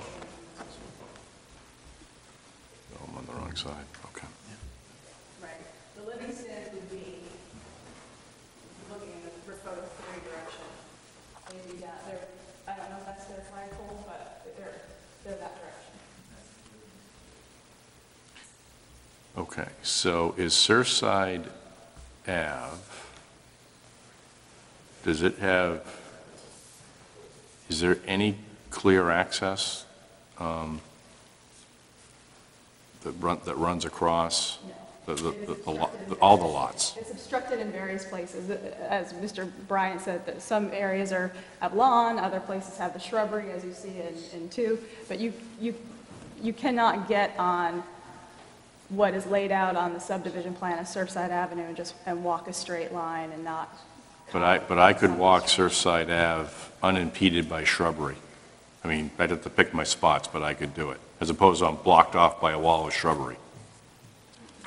Can you, can you access it from the east Bushwhack end? in parts of it, but You, you couldn't walk the entire length, but could you access it from the eastern end to the Goldman's property, I guess is the question. No, is what I'm hearing. from those who are familiar with that area. And now let's go to the stairs themselves, the allegation that, that this is somehow visually offensive and will decrease a property value of a property that's diagonally across the street. I strongly disagree with the fact that there would be any injury um, as a result of these stairs. Number one is you're looking at these stairs, your, your back is to the ocean. So if the argument is you're out there to, that right-of-way allows folks to go out and observe the ocean, you're not looking at these stairs. So here's my fundamental problem that I've struggled with both previously and now, in that it- it's, for me, it's very close on whether they're standing, but I err on the side of standing because I'd like to have the arguments uh, heard here. In this instance, if instead that area above the stairs, the code enforcement officer's doing a spectacular job, he makes a mistake one day and he allows a tennis court to go in, becomes impervious surface for that entire area right above the stairs. Under the argument that I'm hearing, no one could ever challenge that. Is that correct? And I guess th- that just seems, that, that seems wrong to me. That basically, we would be adopting a position that no one in the town could in any way challenge an error made by the CEO because of the fact that the lot happens to be sitting against, against the, the ocean and no one is downhill from the lot. Number one, we're not talking about tennis court. Um, Number two, Just to take what the, the argument, what the, the the argument eventually leads Yeah. us to. Number two, I don't think that anyone would have standing on the basis of interference with use of a right-of-way. There may be a different argument, the Livingstons or the neighbors on the other side may have a different argument, but I don't believe that you would be able to have standing about what's going on in that property by, that does not interfere with your right to, all they have is a right-of-way. That- It's- And they live directly across the street. They live diagonally across the street. But they are, they are in, if you measured from one corner of the lot to the other, they're under 100 feet away from the lot. Uh, right, but we're not talking about tennis courts. Go ahead. Go go ahead and finish. We're- Okay, thank We you. won't interrupt you again. All right, let No, me you're just, let me just try to see, make sure I got everything here.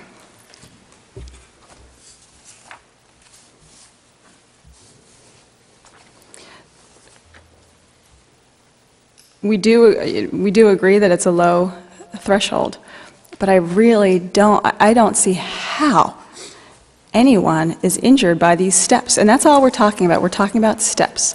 We're not talking about any hypothetical pollution pour or any hypothetical injury or obstruction to that easement area. And I just find it hard to, it's a door that you're going to blow off the hinges by allowing this appeal. The precedent that you're setting is very, very low. It- It's going to, you're essentially allowing someone who, to appeal just by virtue of living in the neighborhood. And that's not enough. There is no injury from these steps whatsoever that could possibly be alleged.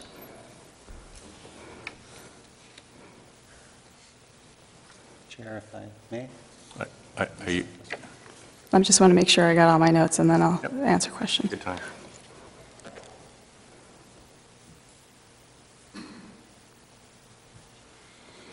I just, I do want to point out, Mr. Bryant uh, talked a little bit about um, the the fact that they, there isn't a a path there, but if they wanted a path, they could build a path. And I, it's a, it's just a, a- a bit ironic to me that the concern is stormwater runoff, but they're interested in building a path. So I just wanted to point that out, that in the interest of stormwater runoff, the best thing for that area is to keep the shrubbery and not have a path. So now I can answer some questions. Sure? I'm sure, yes.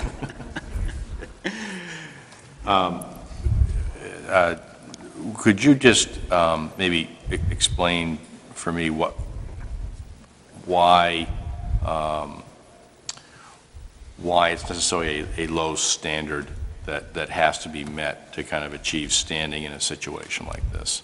Well, the, the law court has held that as an abutter, um, you need to show, and I have the exact language, a reasonable allegation of a potential for a particularized injury.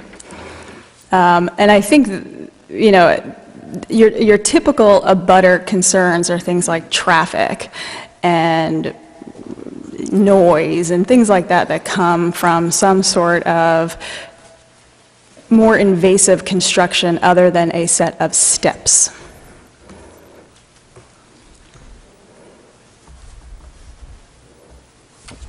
Go ahead, Chris. At the end of the day, the issue we have here is that a um, kitty corner across the street abutter is attempting to enforce what they believe is a violation of the shoreland zoning ordinance. Uh, th- This is a, uh, a protection that exists both at the town level and at the state level.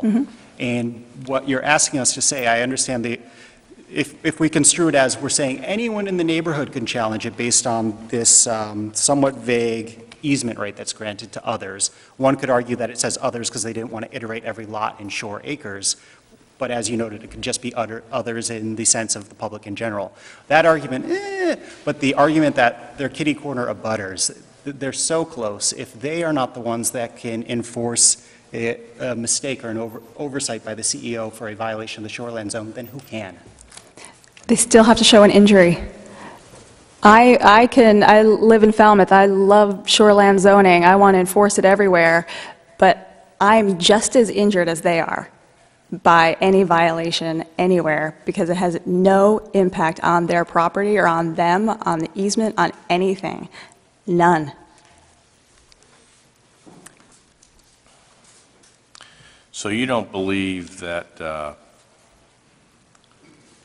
that because they have uh, a deed, effectively a deeded right-of-way, that um, somehow uh, the placement of those granite steps, or I guess the existence of the granite steps, negatively impacts their property values? or- Not at all. Or impacts that, that deeded right-of-way? Not at all. It, it- it, they, it may in fact increase their property value because it's so well maintained. We don't know. We don't know. It depends on who the buyer is. We don't know that either. We don't know that either. Although my understanding is that the, the test is whether the person who has appeared before the board, when the person who has appeared before the board is an abutter, a reasonable allegation of a potential for particularized injury is all that is necessary to establish the real controversy required for adjudication in a court. That's right. Yep. So the question is, have we reached the threshold of a um, potential for a particularized injury? It's the potential for a particularized, that word potential is in there, so. I mean, isn't, isn't there the potential that the stairs will cause additional runoff, that will cause the road, the paper road to erode? And now they will no longer have access to the paper road? No. Those, the the stairs are very minimal. We're not taught, maybe if it was a tennis court, but not with steps, with grass landings. No. But it's just the potential. There's still no potential. Would you agree it's potential that uh, someone might not like these stairs, and um, if there is a change in market forces such that people begin to value undeveloped land, the the shrubbery, the the grass, the the natural state, that having these stairs would impact uh, property values in the area? Would you agree that's a potential that may occur? No, because usually potentials are based in reality. Any other questions? I have a few, but uh, Chris has exhausted his The same questions. questions over and over in some universe. if you're not prepared to talk on these points, please let me know. and Sure. I'll I'll move on to the next one. What is a paper street? A paper street is a street that exists on a subdivision plan, but has not yet been developed as a street. And was that the case here? Yes. Who owns Surfside Avenue? The Goldmans own the fee to Surfside Avenue, subject to easements of others to cross. Right. Um, let me just- Thank you. Why does uh, adverse possession does not apply here? There's, because there's nothing to adversely possess. So how can we say that um, that the Murphys have a claim to en- en- enforce their easement? I'm not following, I'm sorry. So if the underlining owner is Goldman Mm-hmm. Right. Party, and they have allowed an easement, and for whatever, eh, not just the Murphys, but all the people that may have, um, sorry, not just this particular property, but Surfside Avenue in general, Mm-hmm. um, why is that easement still effective? How do you protect an easement? That's a good question. I also don't differentiate between the easement rights and the, the paper street rights. To me, they're one and the same. They, all they do is grant a, a right-of-way across the paper street. And the paper street rights may or may not still exist. I mean, those are, So, those are still, those are questions. I, yeah. It, uh, uh, oh wait, So uh, ju- just uh, to touch on some of the things, like, so about a year and a half, I don't remember the exact time ago, we had three or four different meetings on a number of these issues. And if I get this wrong, I'm sure the attorneys will uh, correct me. Um, There was considerable, considerable debate as to who owned the paper street at this point, and I believe either the Livingstons or the Goldman, someone was arguing that um, ownership now had reverted to them. Um, I might have that wrong, but I think that was what. That's the- correct. The, the sides disagreed as to who owned it. Uh, At end of the day, it was raised, we didn't get into it, we said, we're not even touching that with a 10-foot pole. Um, As to uh, whether it- anyone had ever been restricted from passing on the street, we never got into the, um, whether anyone had ever built a fence and kept the public off of this land. So it seems like it's generally accepted that it's just been sitting there so people could go back and forth, so that's why there probably wouldn't be the adverse possession, because it was never fenced off. Instead, it was, people were claiming, oh, we go on that land, and others were saying, oh, no, you don't. And then it was the, oh, I own it. Others said, oh, no, we own it, and you're impinging on our, our rights. And we went back and forth for like three or four meetings. I on don't want this. to get into uh, a dialogue, but I I query, why is there not a decla- a declaratory judgment being sought? Got me. Uh, Who mows the lawn on those photos? Mr. Goldman may or may not, or he may ask somebody to mow the lawn for him. Are there other people along the, um, that abut the Surfside Avenue that mow the lawns and put other structures or, or, And there is, a- and there, the Livingstons do have a structure that is in the right-of-way, but there's a deck right in the middle of that right-of-way. No. sorry, no, sir, no. you can take the uh, public the- comment. Thank you. Um, Are these lots that abut Surfside Avenue, are they waterfront or water view for tax purposes? Waterfront. My last query, um, what remedies are available to uh, either party uh, if there is or is not standing for the purposes of this application? Remedies in terms of, The issue that I'm looking, uh, we are Yeah. considering is the, the minimum requirement for Yes. standing. Just a question for the Yes. gateway question. right, exactly, yeah. Um, I- I'm troubled by uh, one of the comments made by the judge that there has not been a determination as to the easement itself. And so this is on um, page four. The Murphys appear to have easement rights. Right. And At the last question, last paragraph, and asked the board to actually consider the easement rights. So I asked one party, I asked now the other party, what is the right that we're talking about? Right. And, and I think there's two parts. One is, there is a right uh, for an easement purposes. Right. and That's one attack or remedy. The other one is the shoreland overlay point for the stairs, where it's too close to the water line, is the other. Um, So my concern is that, I wanted to ask you directly, do you believe that the Murphys have a easement on Surfside Avenue? I believe they have a deed, an old deed that gives someone an easement, and I believe that there's a subdivision plan that has Surfside Avenue laid out. But you're correct that to, in order to affirmatively resolve that issue, it's not this board's purview, it's for declaratory judgment action. So we're making assumptions for the purpose of standing, but we're not agreeing that they have absolute rights, that they have an easement, that there's a paper street, none of that stuff. We're making assumptions, and even with those assumptions, we don't, we think they don't have standing. I think we're all hopefully in agreement that we're merely, uh, there's no confirmation that there's an easement right by determination by the board this evening. That's correct. Okay. I suspect that we'll have caveats and statements of findings to that effect. Thank you. Mhm. Okay, Thank, thank you. thank you.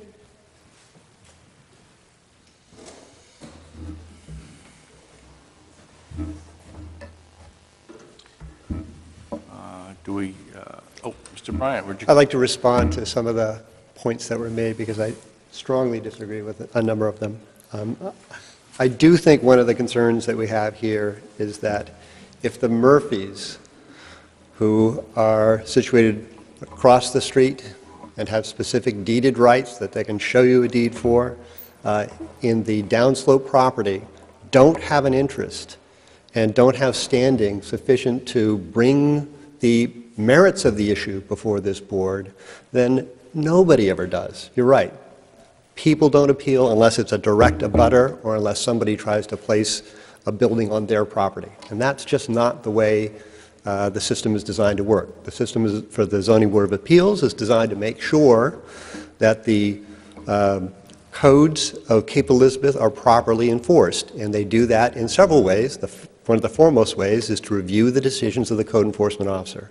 And the whole reason we're here now, and the reason the Murphys were here a year ago, um, as, and a number of other people were in front of this board for many, many hours, is because the former code enforcement officer was handing out permits he shouldn't have.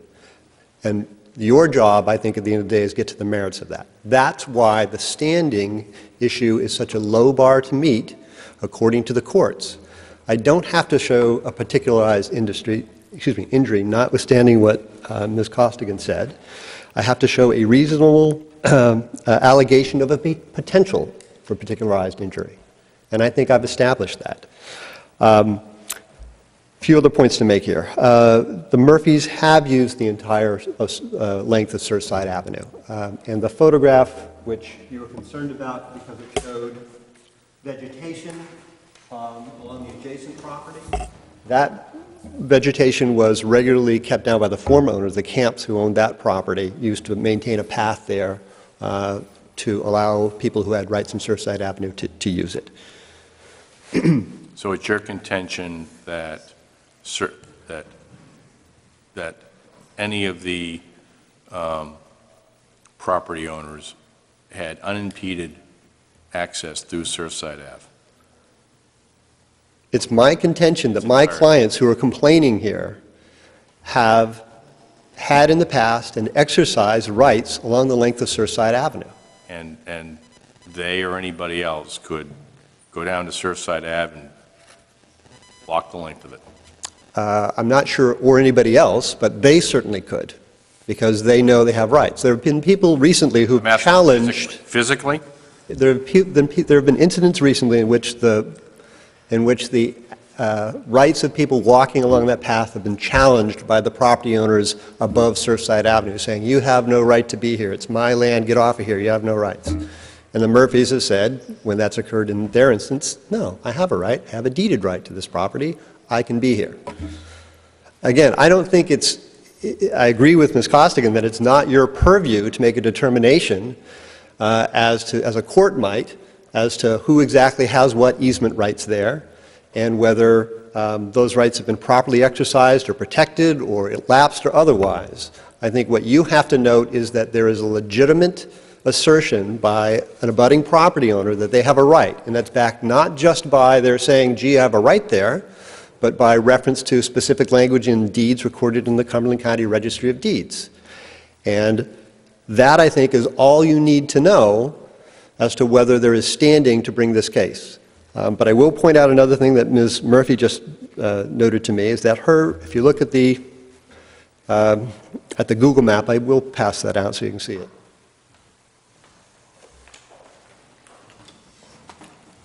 It has some overlays on it, but what's important is the Google map, which is behind the transparency on the top there.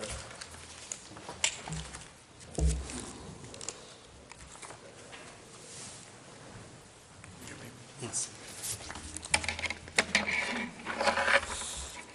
If you look at the Murphy's property, which is kitty corner from the, I guess, directly towards the top of the page across Pilot Point Road from the Goldman property, their house is actually sited to take advantage of the view over the Goldman lot. So it's not simply that they're in a butter and that they're directly, excuse me, kitty corner across the street, although there may be some overlap of, uh, of a foot or two, but it's also that their property has been improved with a design that uh, is intended to capture the view over the Goldman property. So they have a particular interest in this property and what happens on it.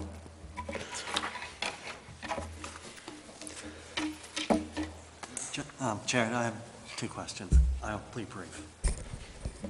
Um, I'll ask the same question. Uh, Who owns Surfside Avenue? I believe that it may still be Shore Acres Land Company.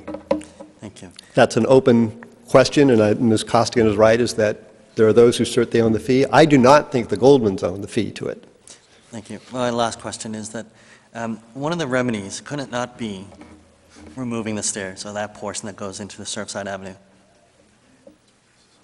I think the remedy has to be, that this board has to focus on, is whether the Goldman lot exceeds the impervious surface limitation within the shoreland zone. So although Ms. Costigan wants to tell you this is about these particular stairs that are uh, quite near Surfside Avenue, in fact, the issue is that you look at the impervious surface over the entire Goldman lot. That's how the shoreland zoning ordinance works. And your decision is to, is to make clear on the, mer- is to decide on the merits whether in fact there's too much impervious surface that was triggered by this particular improvement on the Goldman lot. And if so, then the entire lot's in violation. To follow up on that, did- would that assessment include Surfside Avenue, the portion behind the Goldman lot? I'm not quite understanding your question. So if we look at um, Goldman Lot excluding Surfside Avenue, so I'm not sure of the square footage that we're talking about. Doesn't that allow um, a smaller footprint? Whereas if you include Surfside Avenue, include, it is a larger footprint? No, no, the way the shoreland zoning works is the Goldman's property um, for, as a, as a, uh, as a tax map lot and as a zoning lot does not include Surfside Avenue. And when you're calculating the, the surface improvements on the Goldman lot, you don't take into account at all the land on Surfside Avenue. It's excluded. It's entirely excluded. And if you look at that Google map, the red lines drawn around the, the Goldman property, in fact, in fact, reflect the property lines, which are the same as the tax map lines. So there's potentially two avenues of- to attack the- these set of stairs. One is what you just described, and the other one is that there's an infringement on the easement. I suppose in theory, one could, one could argue that, but that's, the difference is, I, no one is contending that the uh, Goldmans are putting up a fence in the middle of Surfside Avenue and preventing people from crossing it. That's not the issue. No, no, they're asserting ownership of that space by putting their own property on, on the land now currently known as Surfside Avenue. And I don't think that's the case either, because the, the the stairs themselves, I agree with Ms. Costigan, the stairs themselves are not sited within Surfside Avenue. They're close to it, but they're not on it. This is, has nothing to do with saying that the stairs were sitting in the middle of Surfside Avenue, we can't walk over around them. It has to do with whether the property that abuts Surfside Avenue, that is upslope from Surfside Avenue, is in violation of the shoreland zoning ordinance limitation on surface, well, two, two limitations. One, on impervious surface, because they simply stuck too much on there because our prior code enforcement officer gave them a permit that he never should have. The second issue, which also directly relates to the shoreland ordinance in the shoreland zone, as it is an overlay over the Goldman property, is that the shoreline, in the shoreland zone, you are not allowed to put stairs to give you access down to the shore that are wider than four feet wide, and they, you can only be allowed to do that if you show there's no other practical means of putting those stairs there. And there were existing stairs that were removed We're to going place beyond these here. standing at this point. I'm sorry. A um, Couple other points I'd make, that they are not, uh, despite Ms. Costigan's ass- assertion, my understanding is that they are not taxed as waterfront lot. They're taxed on the tax map lot, which is the same as the zoning lot. They, I understand they get a discount because they are of 5% on what otherwise would be the tax, because they are separated, their property line is separated from the ocean by uh, Surfside Avenue. Um, Let me see if there's anything else I have here. Chair, if I may? Last question. Okay. As discussed, you, you, you need to, sh- basically, w- we have the proximate location of the property for the Murphys, but what we need to have articulated is what the potential for a particular injury is. So if we were going to make a, a finding of facts to support a finding that there is standing, can you iterate for us right now every single uh, potential for a particular injury that we would include in the findings of fact for, if, God forbid, there, there's another appeal of this up to the Superior Court, and the, the court reviews the decision, what would be those bullet points of why there is a potential for a particularized injury in this instance? The first and foremost would be the proximity of the, um, of the Murphy's residence, So- so- separated only by Pilot Point Road. But what's the, is, proximity, uh, doesn't seem to me that gives injury. What, there needs to be a harm that has occurred, The- go the ahead to your list. So what happens is that they are going to be across the street from a, um, a structure, excuse me, a lot which is in violation of the zoning ordinance, which has been improved in violation of the zoning ordinance. Their residence is designed to maintain a view, is sited so that the views from their residence are over the Goldman property. So it's not as if they're looking the other way and they never see it. Every time they get up and look out the window, they see the Goldman property. Can That this- affects, Can they see the stairs from their property? no, they cannot see the sta- stairs from their residence. No, they cannot. Can they see the stairs However- from anywhere on their lot? Pardon? Can they see the stairs from anywhere on their lot? I do not believe so. I think the slope is too great to do so.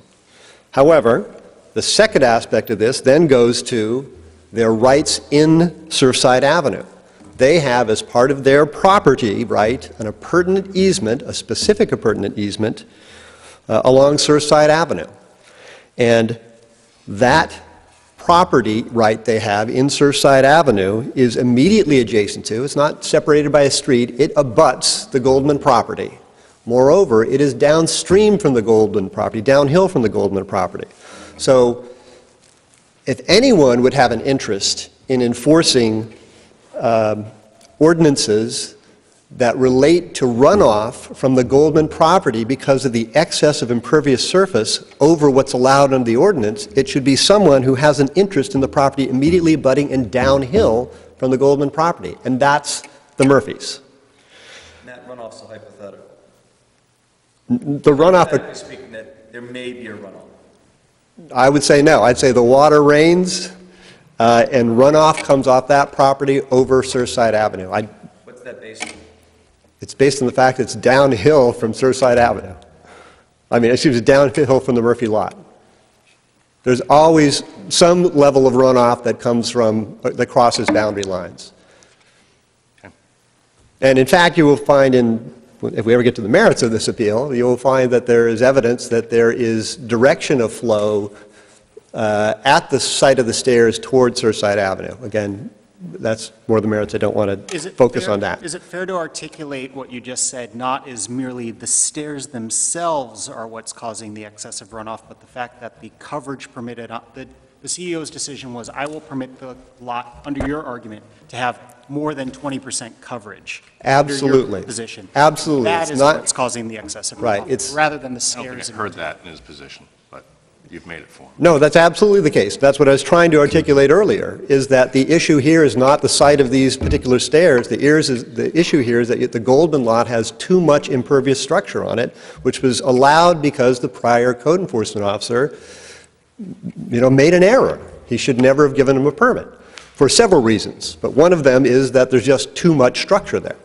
Um, The other points you were still, you're asking me to articulate other points, and again, I would talk about economics, which is that part of the value of the Murphy's property, certainly to them, and they believe to someone who would buy from them at the end of the day, is their rights along Surfside Avenue, and whether Surfside Avenue is a uh, relatively um, green uh, area and scenic area, or whether there are large structures immediately adjacent to Surfside Avenue. The notion that, gee, you only use Surfside Avenue to look at the ocean, you can ignore what I put behind you when you're looking out at the ocean, doesn't make sense to me. Seems to me that just like when you're standing at the beach, if you turn around and there's a, you're in Old Orchard Beach versus being at Reid State Park, there's going to be a different uh, quality to your experience. And that, to me, uh, goes to the value of the easement to the property owner here. Is there a hill or something here? Pardon me? Stairs? What was where these stairs were? There- There was, I've got plenty of photos to show you. That goes to the merits. I'd love to get to that. We'll show you what was there and the stairs that were replaced, which were hidden and over to the side. Now, I'd like to, uh, I- I'd like to wrap this up. One quick question, John. I- One more question. We've got to move on. Okay, thank you. What would the Murphys like the Goldmans to do? The Murphys would like the Goldmans to comply with the Co- Cape Elizabeth ordinance by removing the excess impervious surface from the lot that borders their uh, easement. You mean the stairs? I mean that they ought to have their, the right to make sure that the permit that was granted by the town wrongfully is revoked, and any structures that were uh, created in connection with that um, issuance of that wrongful permit should be ordered to be taken down. And I think that's important to note that the Murphys went ahead, excuse me, the Goldmans went ahead and constructed these stairs no, before uh, this issue was finally settled. It was entirely at their risk. Um, It's not a case of an innocent landowner who builds a, build- pulls a building permit, the appeals period passed, they build their structure, and then they, then they uh, suffer the risk that later on that permit is pulled. That's not the case we have here. This is a case in which there was a timely appeal, and the Goldmans chose to go ahead anyway and invest their money. So there should be no sympathy for the fact that they've invested money in these stairs they shouldn't have put there in the first place.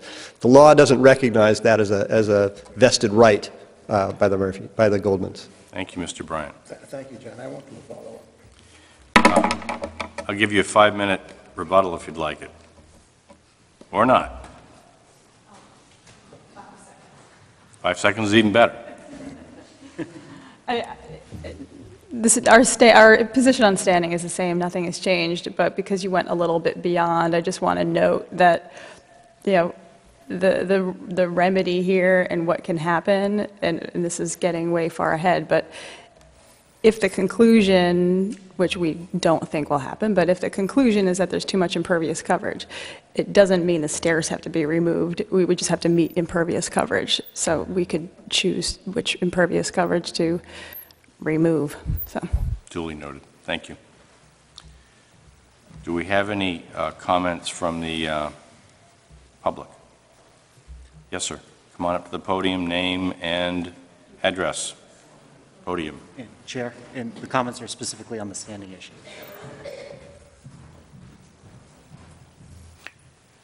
And sir, one last thing, this should be, your comment should be limited just to, we're just talking about standing. No problem at all. My name is Imad Khalidi. I live in 19 Pilot Point Road, two blocks or two lots from the from the Goldmans. And I have no problem with those stairs myself. I can walk through the, la- his land if I want to. He's a neighbor of mine. I'll call him and tell him I'll walk through your land, and those stairs does not bother me whatsoever. That's what I have to say. Thank you.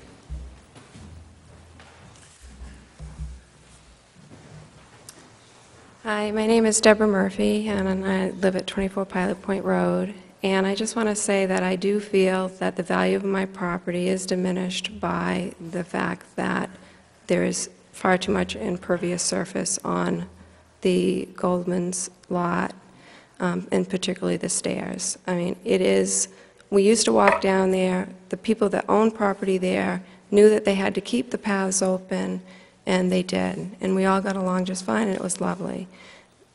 Now you walk down there and you look, and there's this thing that's huge, and it doesn't look natural, and I do feel that as a property owner, for me, it diminishes the value of my property.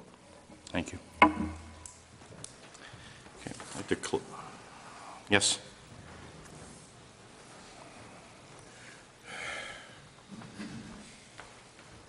My name is Andrea Adams. I live at 25 Algonquin Road in Shore Acres. The house that the Goldmans tore down before they built theirs was a piece of crap. They put up a beautiful home. It has only added value to the neighborhood. It has increased the Murphy's property hugely. You cannot see the stairs from the road. I I walk the road every day. I've never seen the stairs. You cannot see them from the road. There's no impact whatsoever to the neighborhood. Thank you. Thank you. Any other public comment? I just need to comment on that our property value, that you think that our property value has been improved. Before the Goldman House went up, we had a view of the lighthouse, and we no longer do. So that diminished the value of our property also. Thank you. I'll close the public comment on the standing. Turn it over to the board.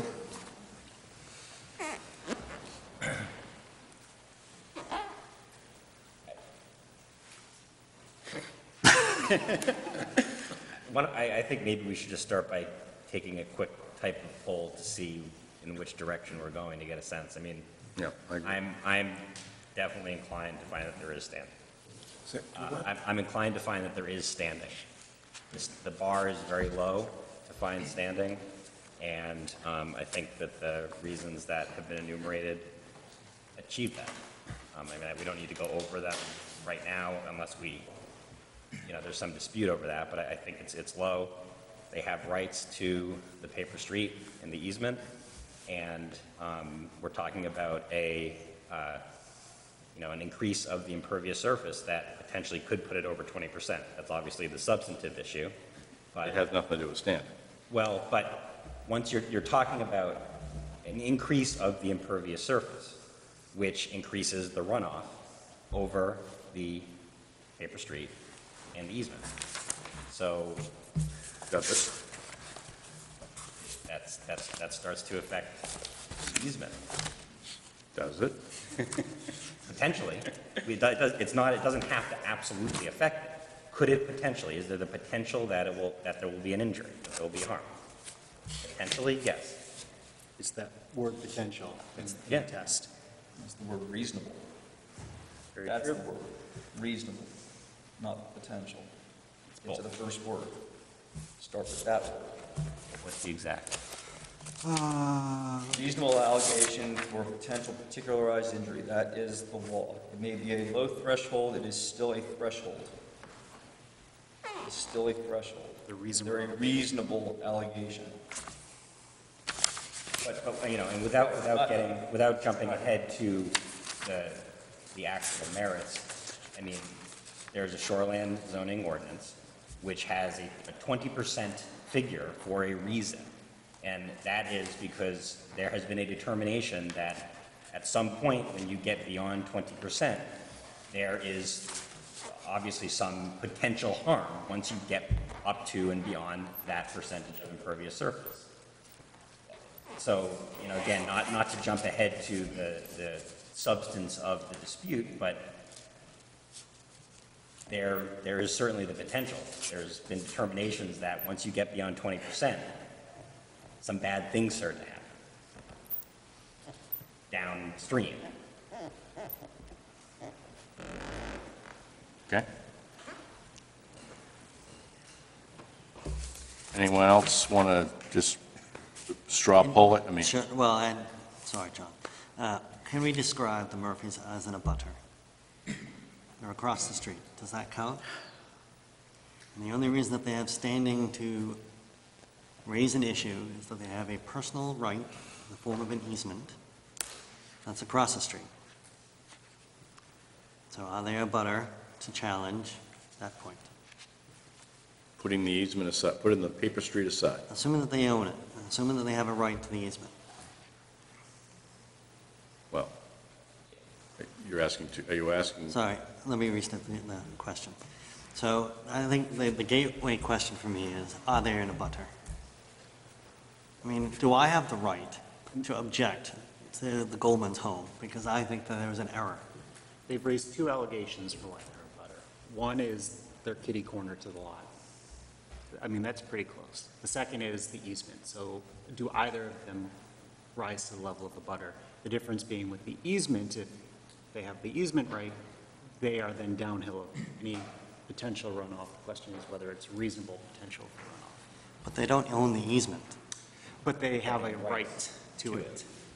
Right, so they would be able to sue the owner of the easement to have enforcement purposes. But the thing is, their right to the easement doesn't give them the right to not have a muddy easement. It could, if, who, there's nothing that I see that says it can't just be a muddy pit that they have to. So they can Trudge. enforce their right to the owner I hear. I hear what you're saying. I'm- I'm not, yeah, I mean, but, he- I mean, that's a nuisance claim. That's not what we're here for. Yep. I, I mean, I'm, I'm with, I'm, I, I, I know where you're going. I'm not, I'm, I'm gonna agree with you. I mean, that's the part that I'm looking at as well. is Where are they an abutter under our code, right out of the gate to, And these are the only, the Murphys are the only family or people that have objected. There So were, there was a, this is before my time? yeah, a bunch of, there's, I don't remember which was the Goldmans versus the Livingstons, but then there's uh, some association in the area, and there was uh, arguments of whether the association existed or whether it had, they failed to like file their own corporation, They- all this other stuff, so there were a bunch of other people in the neighborhood that had previously. That was, it, I think we're, yeah, That's- we're, that's that's not- totally different issue, we're closed, yeah, Murphy's has sued the Goldman. correct. Other lawsuits from the association and other neighbors that run entire house. Right, this is Correct, just, correct. this is So when we talk about the abutter, that's the injury, right? Because you're actually touching another property. You're not, because the home is across the street, they're not a touching for the concept of abutting, right? So if there's a problem with the Technically, coverage, Under the law, whether their rights run to the middle of the street or any of that stuff, but, because then you got that corner touching, but, I mean, you're pretty close if you're literally right across this. So the direct abutter and then there's an abutter. I think if you're right next door, you're a direct abutter. yes. I think These are abutters. I mean, that's my opinion, not being an attorney. I don't know what the, there's no definition in the ordinance. They- They do, however, receive notices at the cutters when, uh, when you're across the street, under the Cape ordinances. so as a matter of discretion, shall we assume or not assume that that these, um, the Murphys are abutters for the purposes of standing? By virtue by of the fact, of where their lot sits or Well, we by have- virtue of where their easements? The easement is not in play. I, re- I asked that question. All right, and the, there was a hypothetical, a theoretical assertion of a claim for the easement. and That was not asserted. What we are asserting is the coverage issue, which is, I think they're asserting from both, I, I did, they're asserting under both the easement and their actual lot. When he iterated the, the injuries that had occurred, he covered both, so. but I think Matthew is trying to actually narrow and say, so, I mean, I'm not going to put words in your mouth, but it's, let's assume, let's assume there's no, there's no easement issue here. But they are, uh, they're kitty corner to the, you know, to the Goldman's residence, and are they, would, are, do you view them as abutters, and if there are I mean, abutters? I- if they touch on a concern, I, I mean, for the, for the purposes of this limited argument right now, yes.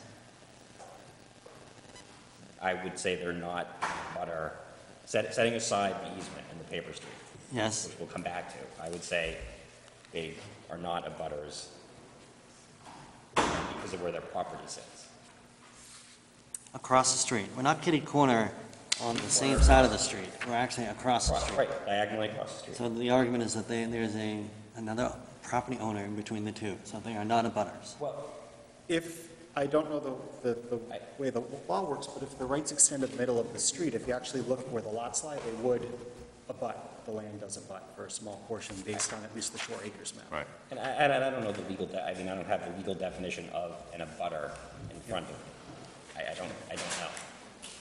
I mean, there could be the issue of direct abutter. Yes, And I think we're mincing words at this point. Yeah. I mean, I would call, I would classify that as an abutter, it's so close. It's not like it's a street away, it's not like it's 10 houses down.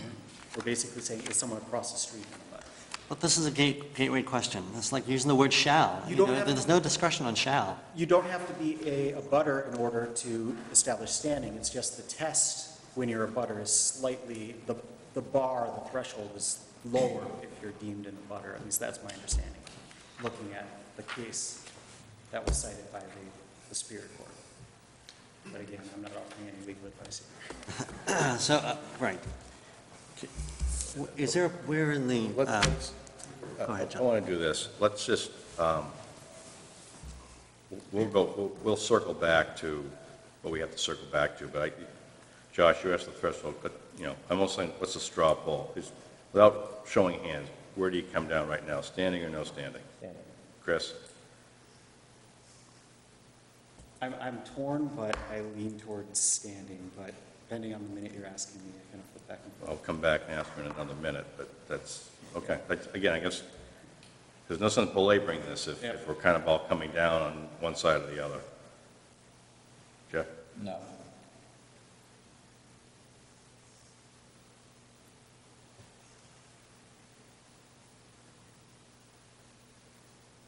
I'm on, um, I'm no at this minute. No. No.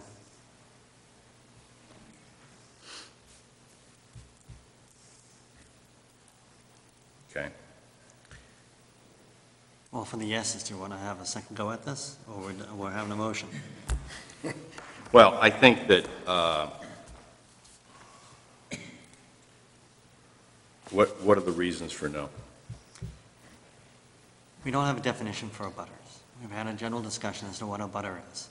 We That's could, just- we could also ask town counsel Yeah. for a definition, Yes? For his guidance on. sitting right here. Um, Let's ask town counsel about it. Want to do that? Yeah. Stall for time. Good evening. Um, The law court has held that in the context of these type of standing cases, abutter is usually given a fairly broad interpretation.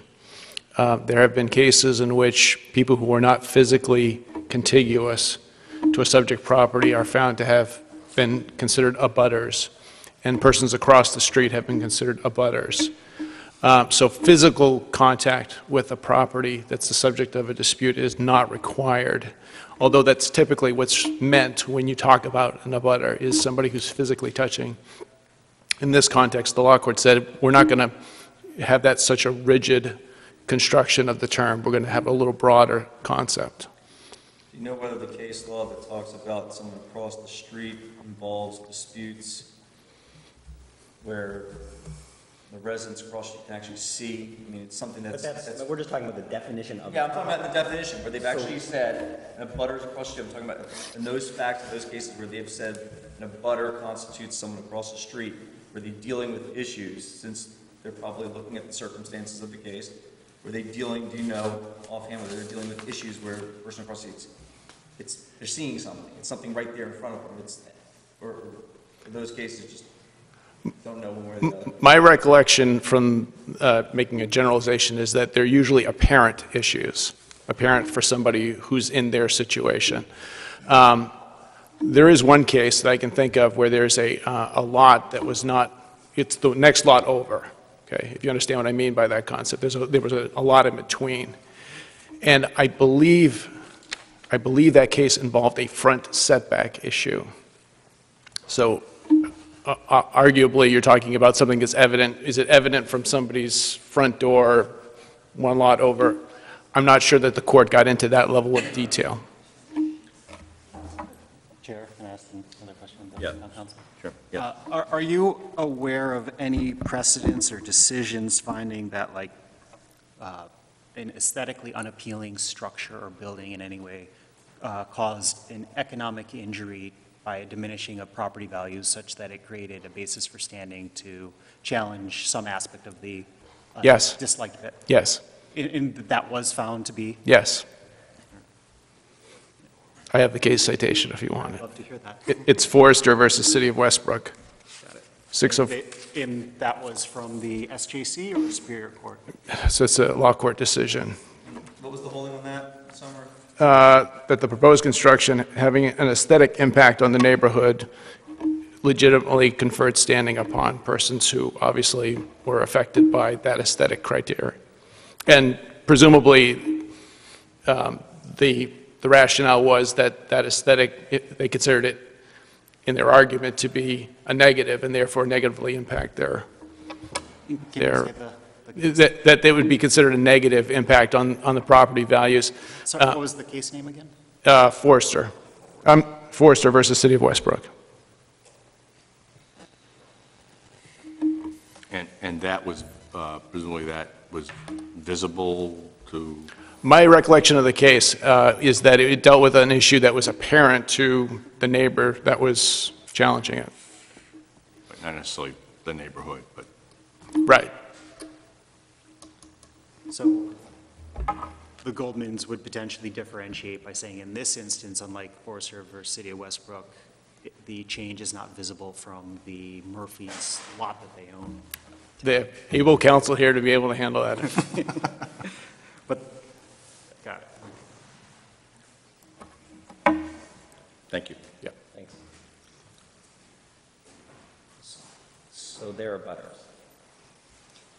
Based on town counsel, I would agree that they would fall within the broad des- definition of an abutter. So that means that the, they need only show a relatively minor adverse consequence to have standing.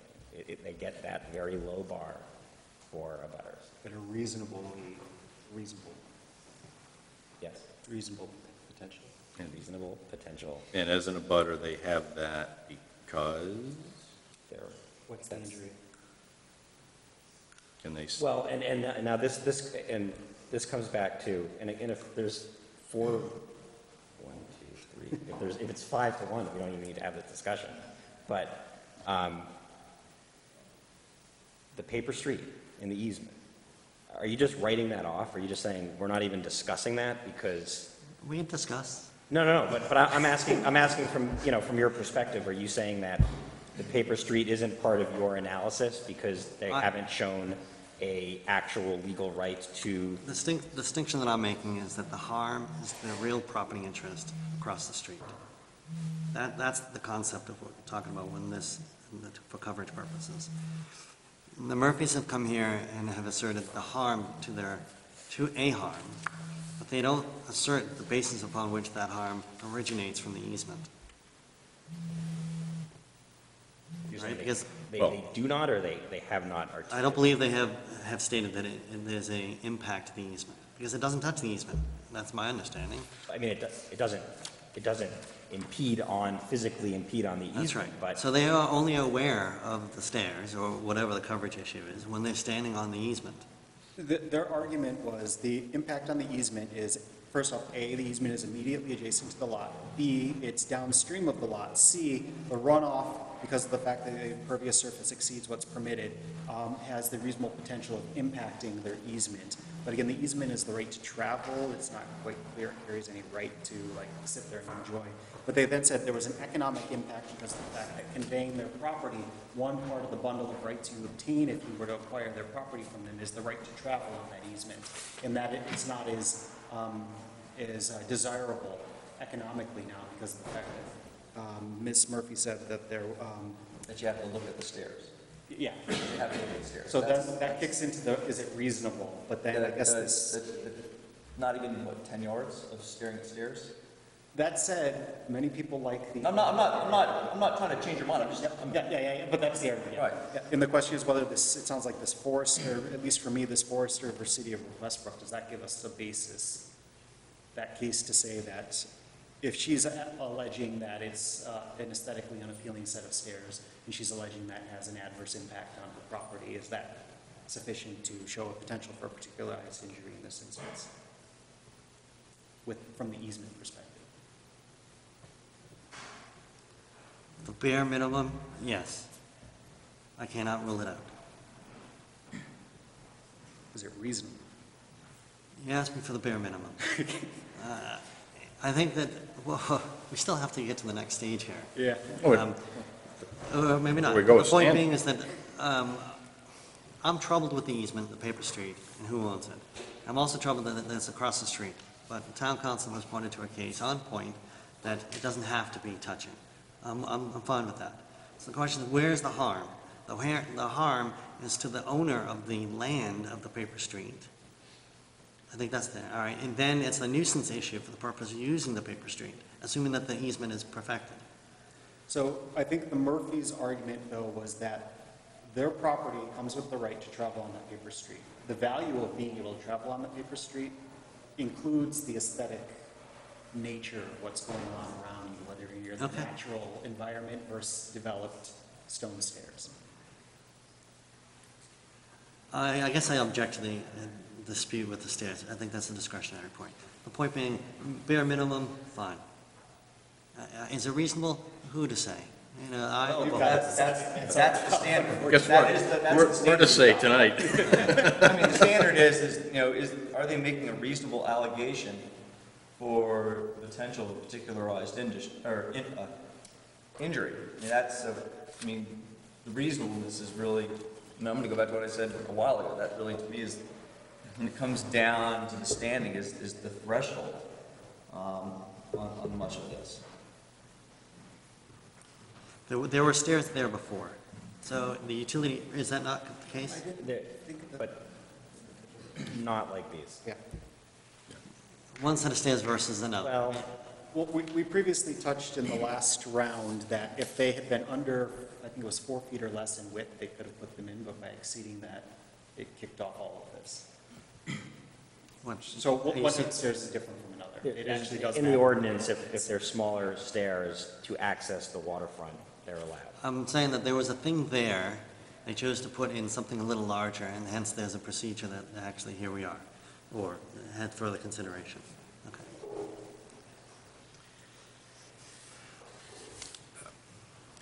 You know, I, th- this, you know, for me is, is, is a, is a, it's a close call. I mean, I, I think we're belaboring it because it's, it is close. Um, I, I, I, you know, as, as someone who is across the street from the water, personally, I get the whole abutter concept.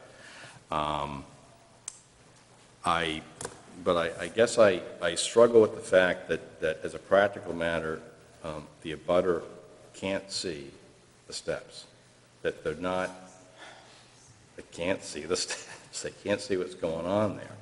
And, and as a, um, from, from an easement perspective, uh, you know, looking at the, looking at the, the photography, looking at the topography, um, it's, it's hard for me to see where, um, you know, rainwater or whatever is, is going to rush down Seaside Ave. Um, When you see, you know, they have grass landings at every five steps as it is, so it's not like it's a complete waterfall to begin with. But, but assuming that it's now increasing the impervious surface, assuming, which I, obviously not making that determination or assertion right now, if it did push the overall impervious surface of the property to above twenty percent. We don't know that. No, we don't know that, but that's the potential.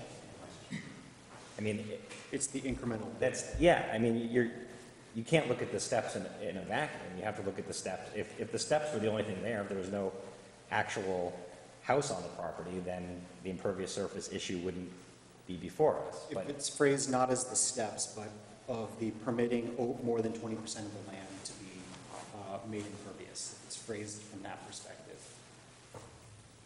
is there a reasonable chance of injury by virtue of excessive runoff? and- and that, I have a hard time seeing it, given the topography and the, and the, uh, I mean, and my argument would just be that, that- that twenty percent figure is in, that, that's the shoreland zone. I mean, that's, that's, that's the figure that is given to us. That is the, that's in the ordinance. So to kind of say, I don't see it, I think that's kind of overlooking what the ordinance says. There's a reason for it, there's a reason that the limit is twenty percent. Uh, Chair, one of the other things that was potentially discussed, well, I think it was discussed, but no evidence was submitted, was we've had several rainstorms in the past couple of months. So if there was proper torrential runoff, we wanted a great opportunity to go down there and take some photos and submit it that there was excessive runoff, and that we had a quag- quagmire, and that it was not passable by, by, uh, by foot. Um, That evidence is not before us. What we do have is an assertion on, on the record and, and no more. Um, So uh, the point being is that it's, it's still a hypothetical harm. as to whether there is uh, a problem with the access runoff. I think that's correct. And the question is whether we have to revisit that.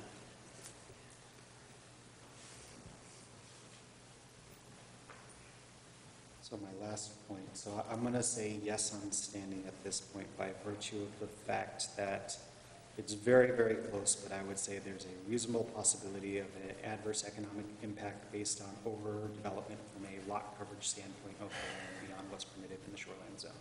There's a reasonable possibility that would adversely impact the Murphy's uh, property value of their primary, of their, of their lot.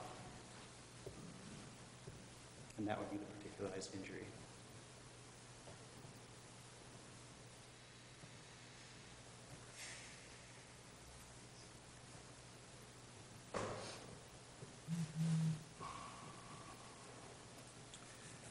Because even though they can't see the stairs, they can see other aspects of the overall development of the lot.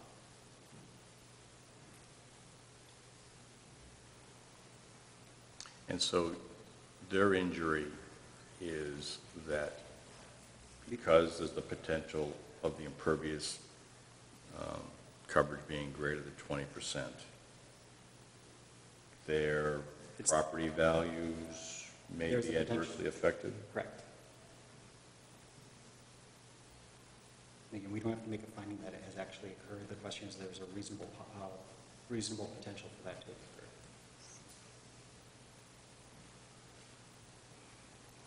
But again, we might not be four two, so doesn't matter.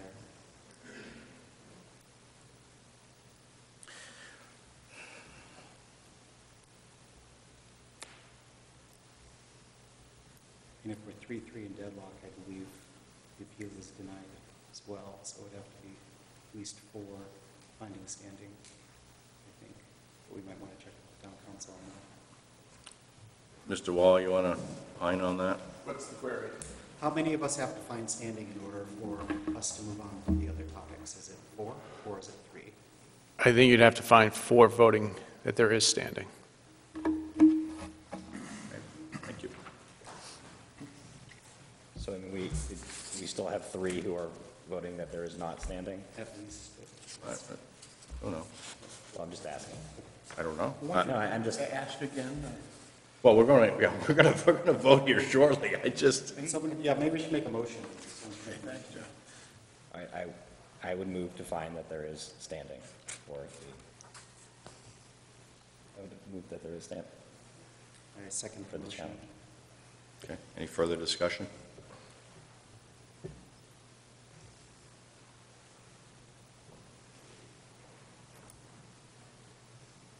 Do you want further discussion? No, I'm just asking, is there any, it's thinking time, it's thinking time, right?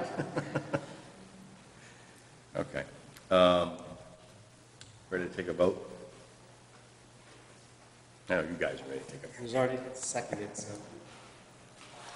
Okay, um, so all in favor that uh, the Murphys have standing to bring the appeal?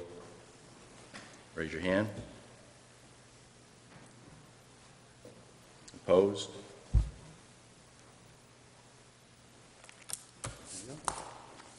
Three, three.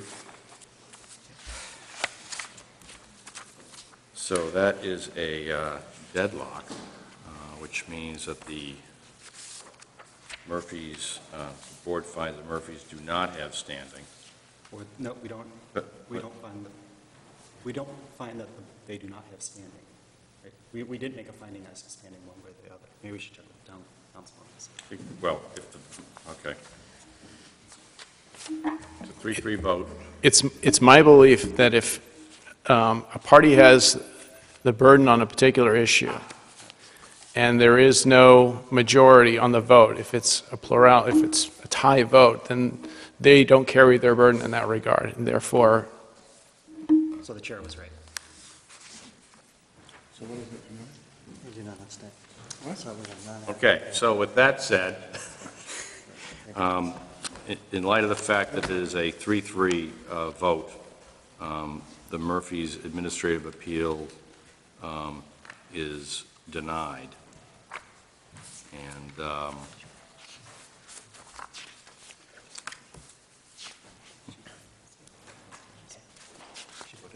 I don't believe on that basis, there's no reason to proceed uh, with the other aspects of the appeal. Uh, I don't think, we need- uh, counsel, do we need to find a uh, finding of facts on it? That's an excellent question for a Glad you're here. vote. Um, Well- I don't know the answer to that question. For, for a tie, for a tie vote, I, I- I guess it's simply, it's, it's that the, um, the party with the burden doesn't, doesn't carry the burden, and Is it worth, uh, it seems like, just to be on the safe side, maybe we should vote on the non-controversial things, or is that not even worth doing? I'm sorry, the, the, Uh, Just, just to kind of be on the safe side, should we vote on the non-controversial items regarding, regarding um, Murphy's on the property, all that other stuff? One through four. Um, Yeah, that's probably safe, and, the- and just thinking this through, it, it may be sufficient for the board to articulate that there, there is no consensus that was reached by a majority of the board members with regard to either the, uh, the the factual predicate for to establish standing. I think that's the best you can do under the circumstances. Can I propose a finding of fact? Uh, Just to see if we can- Go ahead, yeah, please. Uh, Just to the extent that the parties continue to um, hash this out, um, I propose a finding of fact that the Murphys are an abutter to the property at issue.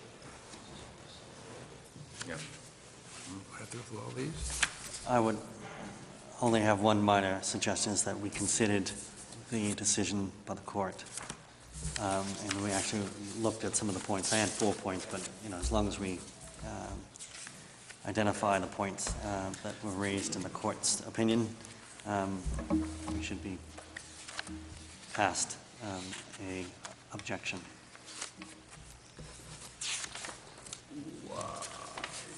You- You're suggesting that we go through the court's remand order and, Might I suggest specifically the part on, part on page four where they, the court suggests that we look at the easement rights and nature of the injury? Thank you. And maybe a finding of fact that we could have consensus on, I guess we, should- perhaps if we can articulate what we split on here. If it's three-three, that there's, that there's a reasonable possibility of injury, and that's where we split, maybe that would help to the extent they continue to hash this out.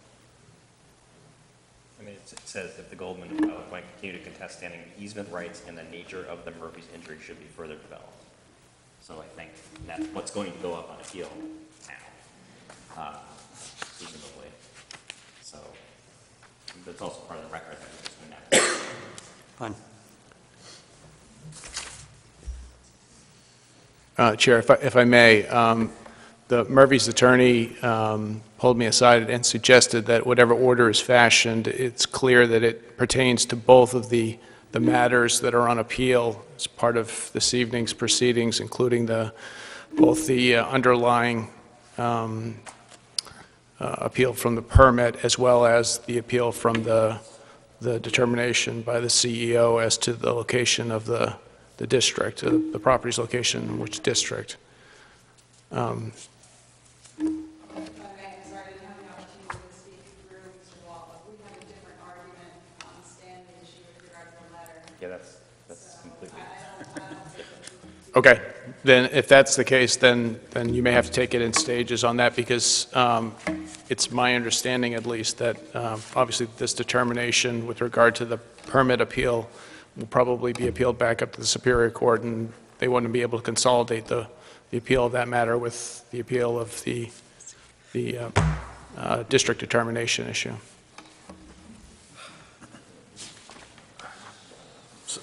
okay, so, so- well, uh, th- this appeal, the- the- the the denial of this appeal is relative to the building permit. Okay, and we have an administrative appeal on the CEO's letter. So technically, we have to get to that, it sounds like. That's it. Perfect. Okay, well, let's, I, I- I think we should probably, then we get, we need to do one, then do the other. Yep, yep. um, uh, uh, okay, so I- I guess going back to, y- we're suggesting that, that we need to put in additional finding of facts around the relative, So if I may, I would suggest we vote, um, I would propose a finding of fact that the the Murphys have an easement right along Pilot, uh, not Pilot Point Road, uh, Surf Road, Surfside. Surfside Road. Surfside. Uh, I'd make that finding, that that, uh, that easement right includes the ability to travel um, back and forth on that road. Um, I'd make the further proposed finding, this one that we, we will not all agree on, um, that the Murphys have a uh, reasonable um, potential for economic injury to their, prop- uh, reasonable probability of uh, economic harm to the value of their property by virtue of excessive lot coverage. Um, the Not- we're not going to reach consensus on that. But i- to the extent we can vote on it, because then it provides a record for the court to the extent that they continue to hash it out. The court would then see that we voted four-two or three-three or 6 0 on each of those issues. Okay, so, so I'm sorry, so the last finding you're suggesting is what? Why, why- why do we need to come up with findings that we're not going to approve? Because if it turns out, because if we all agree, eh, five-one, that there was the possibility of economic injury, but we nevertheless ended up with the results that we, we ended up at, the court would say, this is nonsensical, I'm flipping this again. Or if we all said five-one, there's no possibility of any economic injury, the court would say, how could anyone who said three-three that there, that there was standing, because everyone agrees there was no injury here? Does that make sense? It makes it easier for the review. Sure. Mr. Wall, you But if we split three-three. Yeah, I, I mean, the, the problem, of course, is that since, since the, the, the motion or, or the issue did not pass with regard to whether they have standing, or in effect determining that they, they can't proceed because they don't have the majority of the vote of the board to substantiate that they have standing. Um, It seems to me you can't parse too finally um, the kind of factual findings. You, you might be able to, I think, reach a factual finding that they are considered abutters for the purposes of this issue. But then, uh, another fact that the board has not been able to reach agreement as to a potential for, a reasonable potential for particularized injury.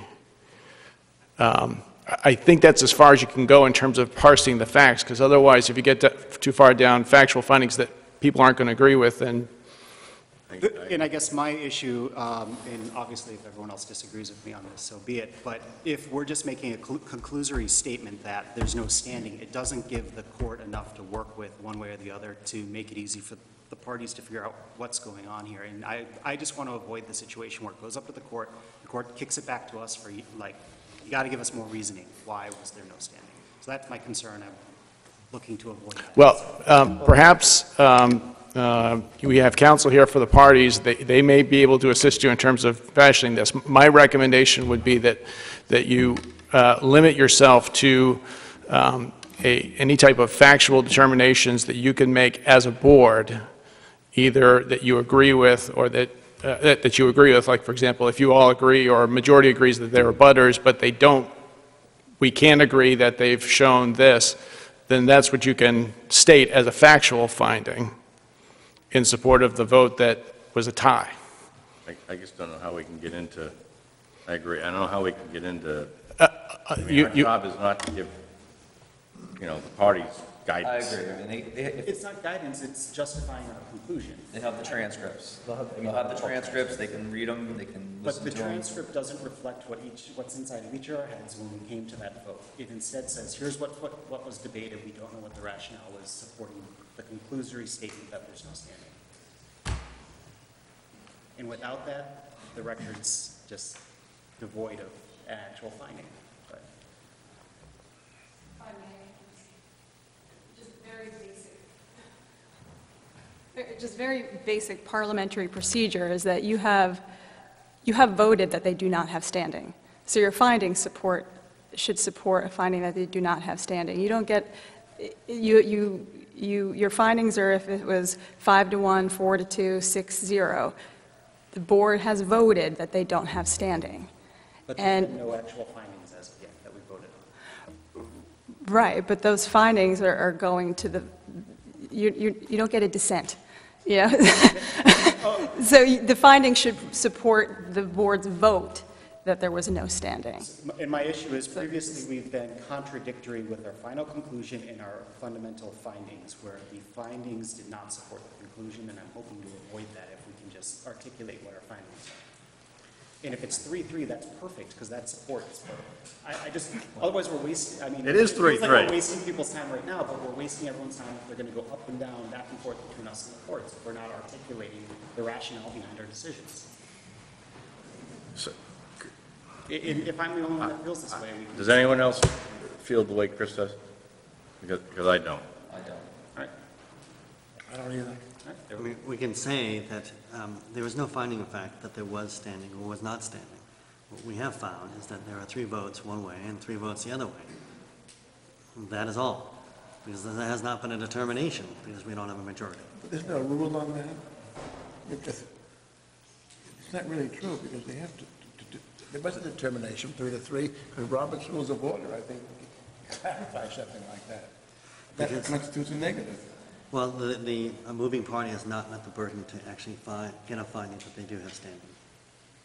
What did you say?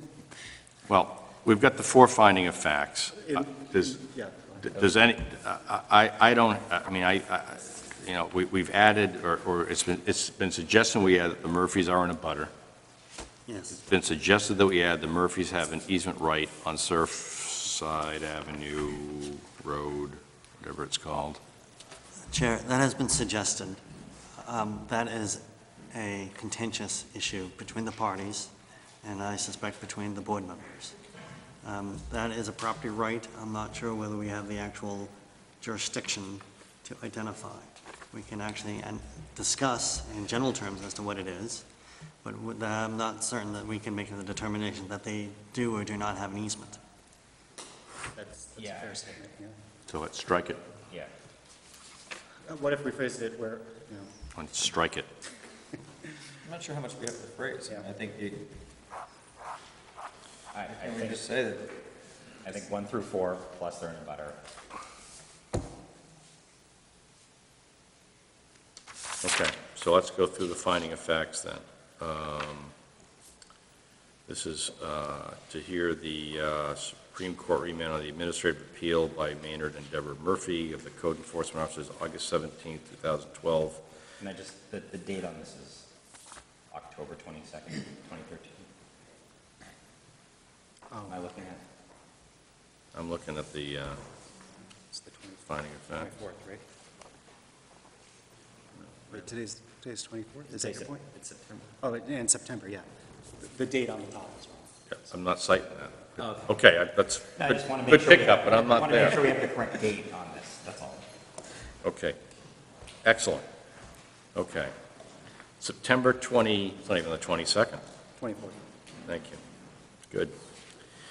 Okay, uh, matter before the board, to hear the Superior Court remand of an administrative appeal by Maynard and Deborah Murphy for the Code Enforcement Officers, August 17, 2012, issuance of building permit 130036 to Pilot Point LLC for construction of a new accessory structure at 27 Pilot Point Road, tax map U12, Lot 70. Finding of fact, Maynard and Deborah Murphy own the property at 24 Pilot Point Road, and they reside there. Murphy's property is almost directly across the street from the subject property. On August 17, 2012, Pilot Point LLC filed an application for a building permit with the code enforcement officer seeking a permit for construction of a new accessory structure at 27 Pilot Point Road. Three, on August 17, 2012, the CEO issued building permit 130036 for construction of a new accessory structure at 27 Pilot Point Road. On September 17, 2012, the Murphys filed with the code enforcement officer an appeal to the zoning board of appeals challenging the issuance of the building permit 130036. Uh, Additional finding of facts, uh, the Murphys are an abutter to 27 Pilot Point Road. I probably should add that, to 27 Pilot Point Road. Uh, The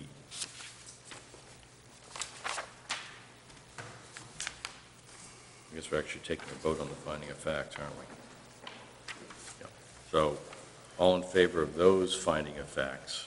Raise your hands. Any opposed to the finding of facts? Six, zero. And the administrative, uh, Chair, I'd make a motion for an additional finding of fact that the Murphys have made uh, a reasonable allegation of economic uh, injury due to uh, a aesthetically unappealing structure on 27 Pilot Uh, a- uh, And by virtue of the excessive coverage, the alleged excessive coverage. Let me rephrase that from the beginning. Uh, I'd make the additional, I move that we make an additional finding of fact that the Murphys have made a reasonable allegation of an economic injury by virtue of excessive block coverage uh, at 27 Pilot Point uh, we can't, you can't say that because yeah, it so- was a 3-3 vote. I can make the motion. So here's my motion. That goes, doesn't that go Fair to enough. level standing? This is a finding of fact. The finding of fact that I'm proposing, and if you guys are going to vote me down, this is perfect, because then we'll have it down on the paper. But that's what I want, is to have a finding on this. What's the basis for our finding of no standing? So the, no standing. The motion is that the Murphys have made a reasonable allegation of economic. I'd say allegation of reasonable. Fair enough. The Murphys have made an allegation of uh, a economic injury to their property value by virtue of purported excessive lot coverage on 27 Pilot Point Road. Period. Can I comment on that? We, we need a second for debate. Can I, can you, can you just say it one more time? I propose an additional finding of fact that the Murphys have made a reasonable allegation of adverse economic impact to their property value by virtue of purported excessive lot coverage at 27 Pilot Point Road. Period. I'll second that. So now we can have a debate and then vote. I think we have to vote no on that, because none of us are qualified to, to appraise um, any value of that property, whether before or after. We're not qualified appraisers, you're attorneys. Totally agree with you, which is why the word allegation is in there. They've alleged it. Uh, We're not saying it's true, we're saying that they've made an allegation, and it's a reason, it's a reasonable allegation. But I don't know if it's reasonable, that's the point. It's an, al- right, but that's why, all we're putting on the record, correct me if I'm wrong, Chris, is that the Murphys have made an allegation of, of essentially economic injury. Well, Reasonable. In the, So, all- so that's all we're doing. We're not saying we agree with it. No, I understand that. do you think it was, re- do you think it's a reasonable allegation? Do I think? That's in effect No. what the vote's going to be. So I'm then, not qualified to say it. so I guess we can go forward with the vote then, we've got a second. Who seconded it? I did. That's why we're debating this now. Okay. Um, Are we debating or we're going to vote? We can, we're definitely voting, it's, if you want to discuss the Yeah, it's, it's, substance. we're discussing the motion. I motion. think we've discussed it. We've already discussed it. My last two cents then. This is, I've been only been on the board for, since this year, and I've never had this experience that we're currently having. So I, I think this is um, perhaps for me unprecedented. Leave that as it is. I'm ready to vote. What I'm talking about is after we have all this findings of fact and we're having the side motion, this is the unprecedented bit. Because we've never had this contested fact, is my, my point. And I just want it, because to the extent they're going to hash it out and it's going to go up. That's for everyone- somebody else. From my perspective, well, we kind of have an obligation and a duty to make findings that support our conclusions. And what I want to avoid is us just making conclusions with nothing. There are consequences of having three, three people on the board. It's just bad luck. It happens. You didn't have persuasive arguments, the, the evidence wasn't there, or vice versa. I'm expecting this to be three-three and then everything's fine, but we'll put it on paper for the appeal, to the extent there is an appeal. Well, you- this is a vote only to add the finding of fact. Correct, correct, correct. It's- It's, vote is, the- I mean, the vote's already been taken on the Yep. administrative appeal. Correct.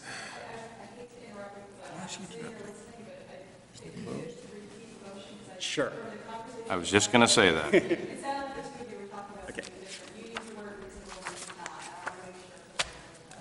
You got to write it down. I'm going to write it down. Uh, It's an, it's an allegation of reasonable. The Murphys have made a reasonable, No. this is my phrasing of my motion. Okay, well, reasonable that'll be an easy one. Allegation of adverse That's the, that's the standard. economic I know what you're saying. No, impact to their, to the property, to the value of their property.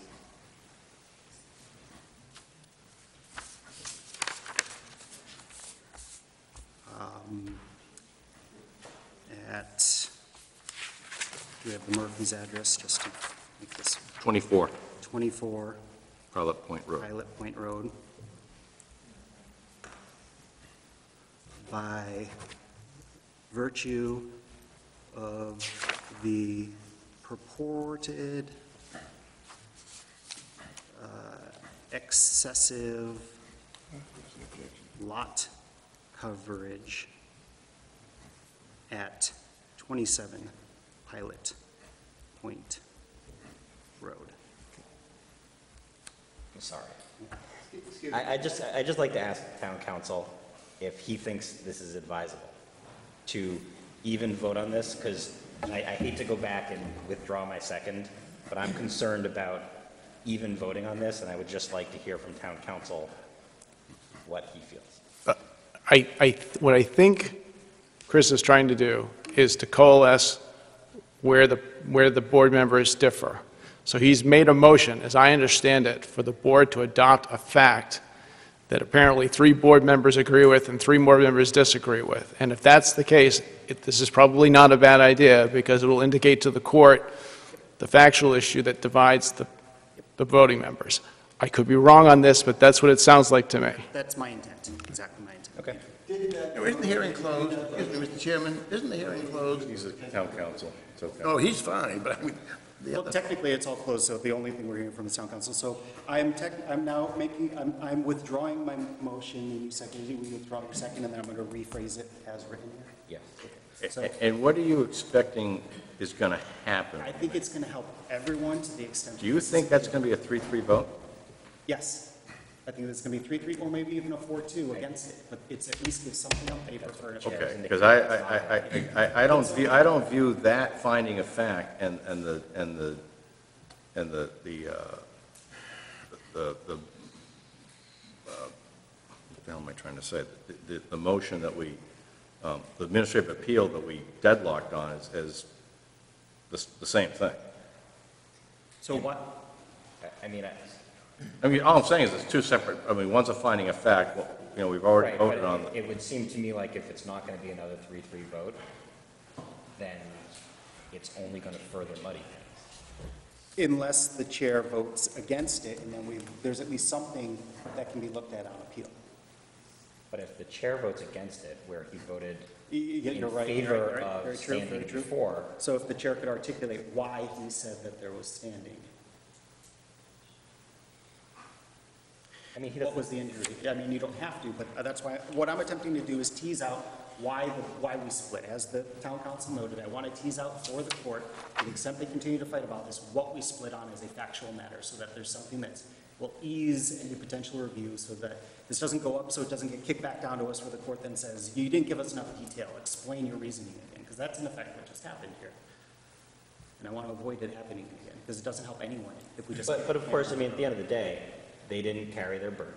The court's going to have all of the arguments, and they're going to see what the arguments that were made, and the determination that, in the board's view, they did not carry their burden to prove standing. And then the court can make its own determination about whether or not the arguments carry the burden or not. And the court's going to see that there's an extensive debate where we attempted to nail down what the factual findings were supporting our decision, and we couldn't reach any conclusion and couldn't reach a single finding of fact on the issue. The court's going to say, in this situation, can I say that, yeah, it's supported by the evidence of the record where they can't reach a, uh, they can't even come to a 3-3 vote on why they rejected standing or why they split on standing? We, we have done nothing to articulate why we reached the conclusion we reached, and it doesn't help anyone from my perspective. Maybe I'm wrong, if we don't have, if no one wants to second the motion, so be it. But I would love to articulate why we reached the point we reached. So the mo, the motion as now phrased is, the Murphys have made a reasonable allegation of adverse economic impact to the, to the value of their property at 24 Pilot Point Road by virtue of the purported excessive lot coverage at 27 Pilot Point Road. Okay. I, yep, I get it. I'll second it. So So does everybody Wait, hear the wait. motion? Let's, um, If you are attempting to parrot the law court's verbiage on this, um, I believe if you check your motion, the one word you left out was the potential, reasonable potential for particularized injury. Thank you, thank you.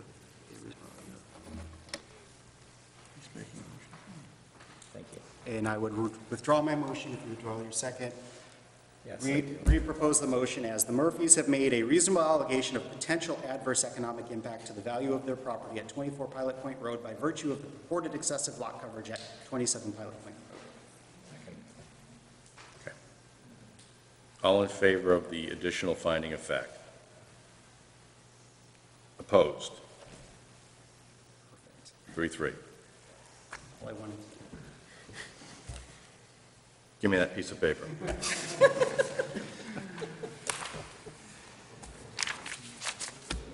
Okay, so just to be clear, though, on the additional finding of facts, finding of facts one through five was voted 6-0.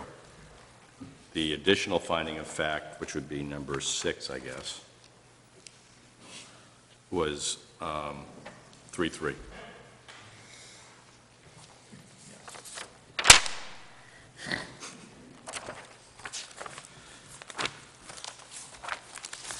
Okay. So now we are turning our attention to the um, administrative appeal dated June 3rd uh, from Maynard and Deborah Murphy uh, concerning the CEO's determination of the shoreland performance overlay district boundary as being inconsistent with the zoning ordinance and zoning map and past practice of the town.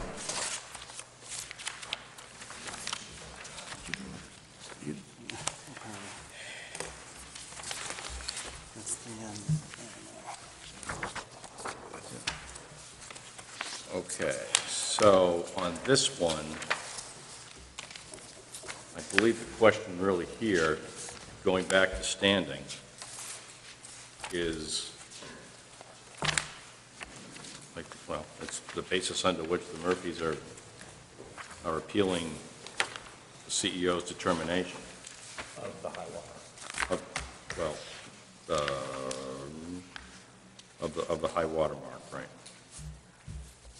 Or the mean, I, I, sorry, I'm being imprecise with.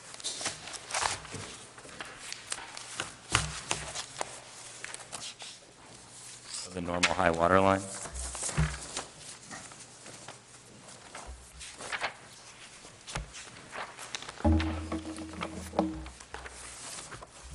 Yeah, that the, the, um, I was reading, uh, where's the determination letter?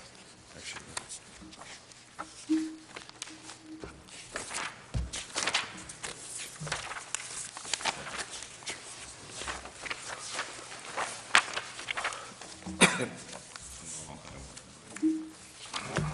Why can't I find your letter? No, That's, that's the attorney's letter. Ben's letter. Oh, that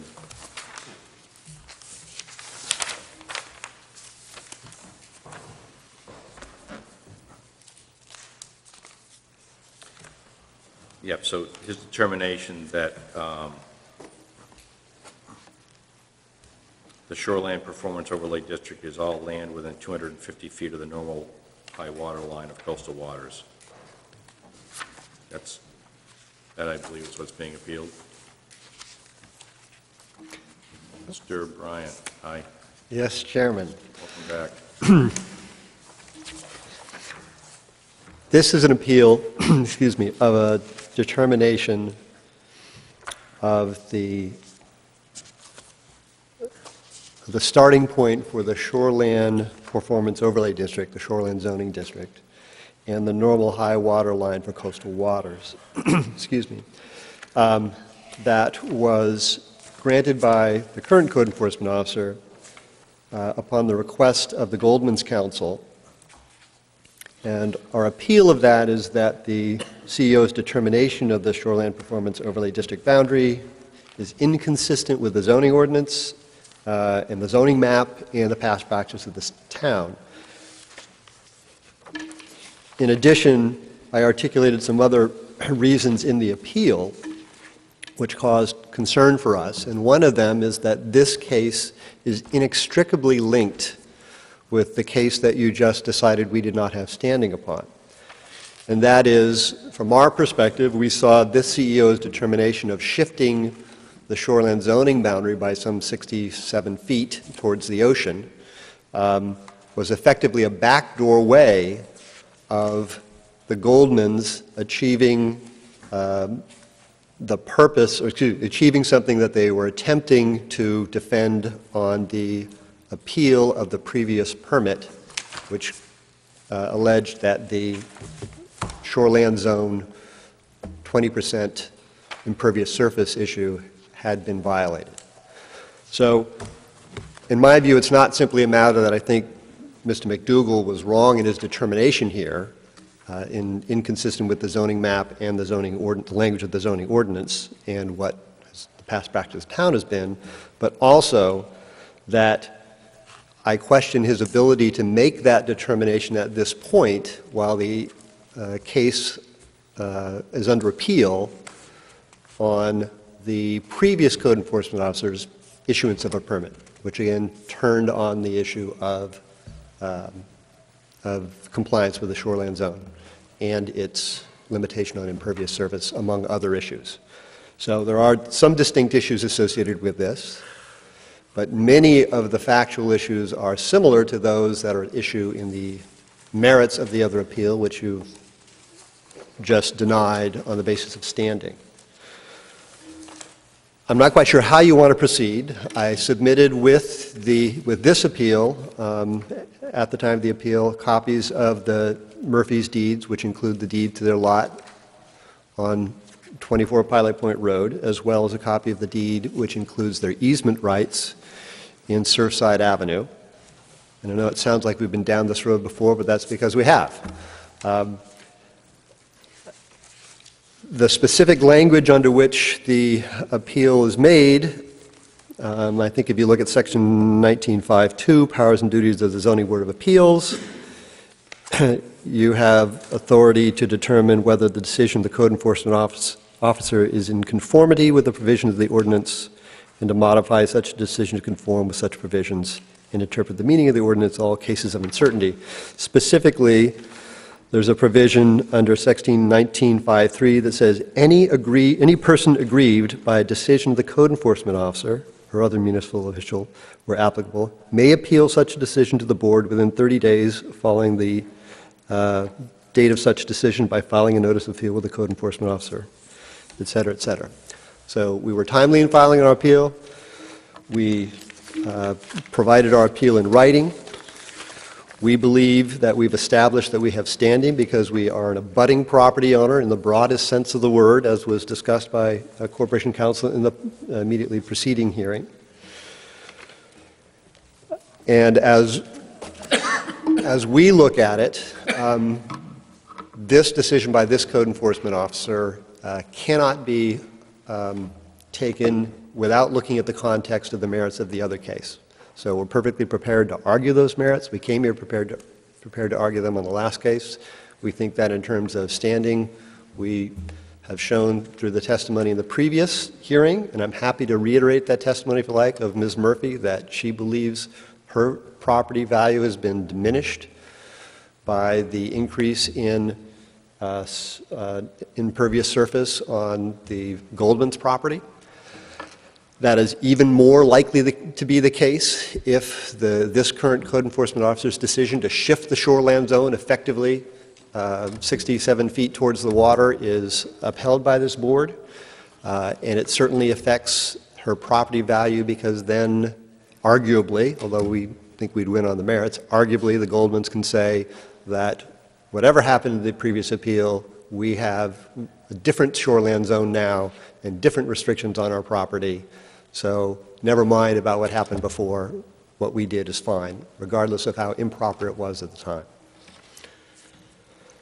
So I- I'm really at the board's pleasure. If you'd like me to present the same arguments I presented earlier about the, um, uh, about the harm to the Murphys and their ownership interests in 24 Pilot Point and their ownership interests as easement holders in Surfside Road, I'm happy to do so. Uh, I'm just as happy to also say that, uh, that if you will accept the testimony that we just gave in the previous hearing, which I think is an appeal inextricably linked with this one, um, then I'm happy to submit that as part of the record for this appeal as well. And perhaps Corporation Counsel might have a view on whether that's prudent or not. Well, do you have any, uh, I think based upon the, the nature of these two uh, appeals being linked to a certain extent, I don't really see any problem utilizing the record from the immediate proceeding. It's the same parties, it's the same evidence. He's indicating it's, it's already been heard by the board. I, I- really don't see any benefit necessarily in re- repeating that. yeah, no, I- I I would agree with that. Um, I I guess a- a a question I have, Mr. Bryant, is if- if you look at this appeal, I'll use the word isolation, I'm not sure I quite mean it like that, but um, ca- why can't the Goldmans just get a determination from, from the CEO as to, as to where the high water mark is for their own, for their own use? I mean, Well, they can, but if we did not, if we had failed to appeal this determination um, and presented it, presented our case on the merits before you, then I think we would have effectively lost our appeal of the other case, because we would be told that we were stopped from raising any of the merit, uh, arguments on the merit because we had an opportunity to do so here when we were aware of this appeal, and I don't want that to happen. I, my whole goal here is to try to get this board to listen to the merits of the case against the issuance of the permits to the Goldmans that increased the impervious surface on their lot and allowed uh, construction of a structure that is in violation of the ordinance. That's what this board is here for. That's what I'm trying to get you to do.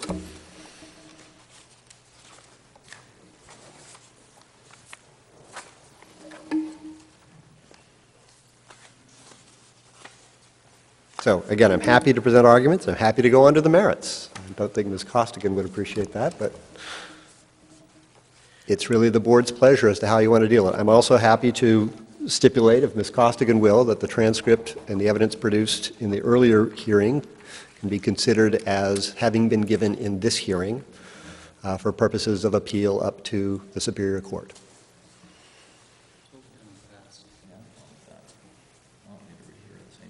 Oh, no, I, I'm happy to live, to- to, to rely upon the existing record. I, I, no, that's, that's fine. I, I, um, If I may. Yeah. So I found the citation from the town's counsel of Forester versus City of Westbrook very uh, useful in the last matter. Can you point to any case where a abutter was, or anyone was able to challenge, or standing existed for a determination as to a um, uh, z- uh, zoning uh, district boundary? where standing was found for someone to challenge a determination for someone else's property as to what district it lied in. Um, I can't right off the top of my head point that out to you, but I will point out to you that a decision by the code enforcement officer is a decision by the code enforcement officer. Your duties under the ordinance say that you have the jurisdiction to hear those appeals by anyone aggrieved by that, by a determination. But this goes to the aggrieved uh, injury aspect again. Right, well, what's happened is, again, I don't want to get into the merits, because I know you don't want me to go there, but everyone, when the Murphys bought their property, and when the Goldmans bought their property, their property was shown on the Cape Elizabeth zoning map as being entirely within the shoreland zone. They're purchased, uh, each party purchased with knowledge of that. The Murphys knew that the land across the street could not be developed beyond 20% without violating the shoreland zoning, and that their, the value of their investment in their property would be diminished if somebody were allowed to violate that ordinance. And that's what's happened here.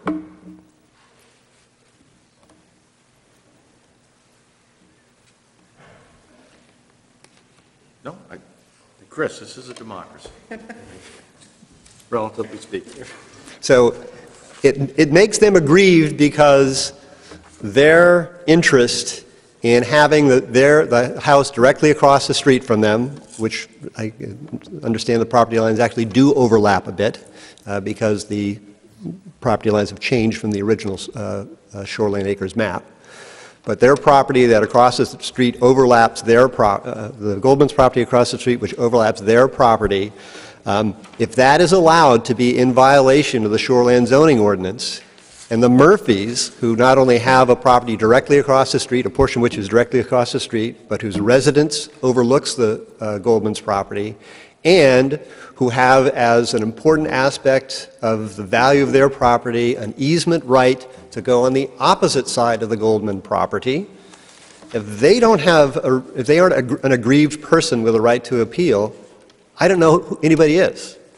That's the problem. And if that's the case, then you only hear uh, appeals from people who are directly abutting and can look out their window and see the particular violation. And that's not what the, the zoning ordinance says. It talks about your job is to properly interpret the zoning ordinance, and your job is to make sure that the determinations made by the code enforcement officer are correct and conform to the code. That's what we're trying to get you to do. Um, Okay, thank you, Mr. Bryant. Um, Do we have questions? I mean, I mean, as a practical matter, um, I'll be honest with you, I'm just struggling with this a little bit in, in that we can't get beyond the standing issue, apparently. You're not the only one struggling, I might point out. If I may. uh, So obviously, we, we know, we need to hear from the, the Goldman's attorney here. But I think it all plays out exactly as with the last one. And I would again propose that we go with that finding of fact that I propose that we split on. And for, and just to further articulate why I think that's valuable to do, it's because for me, what pushed me across the line to find standing was that finding that I reached that view on, and if that finding is not upheld by the board, then I would not have found standing. So by splitting that on a three-three on that, both in the prior issue and on this issue, it then gives that, uh, the support for the conclusion that the board. Can I just suggest we hear from the Which is why I'd like to see it Yeah. here again.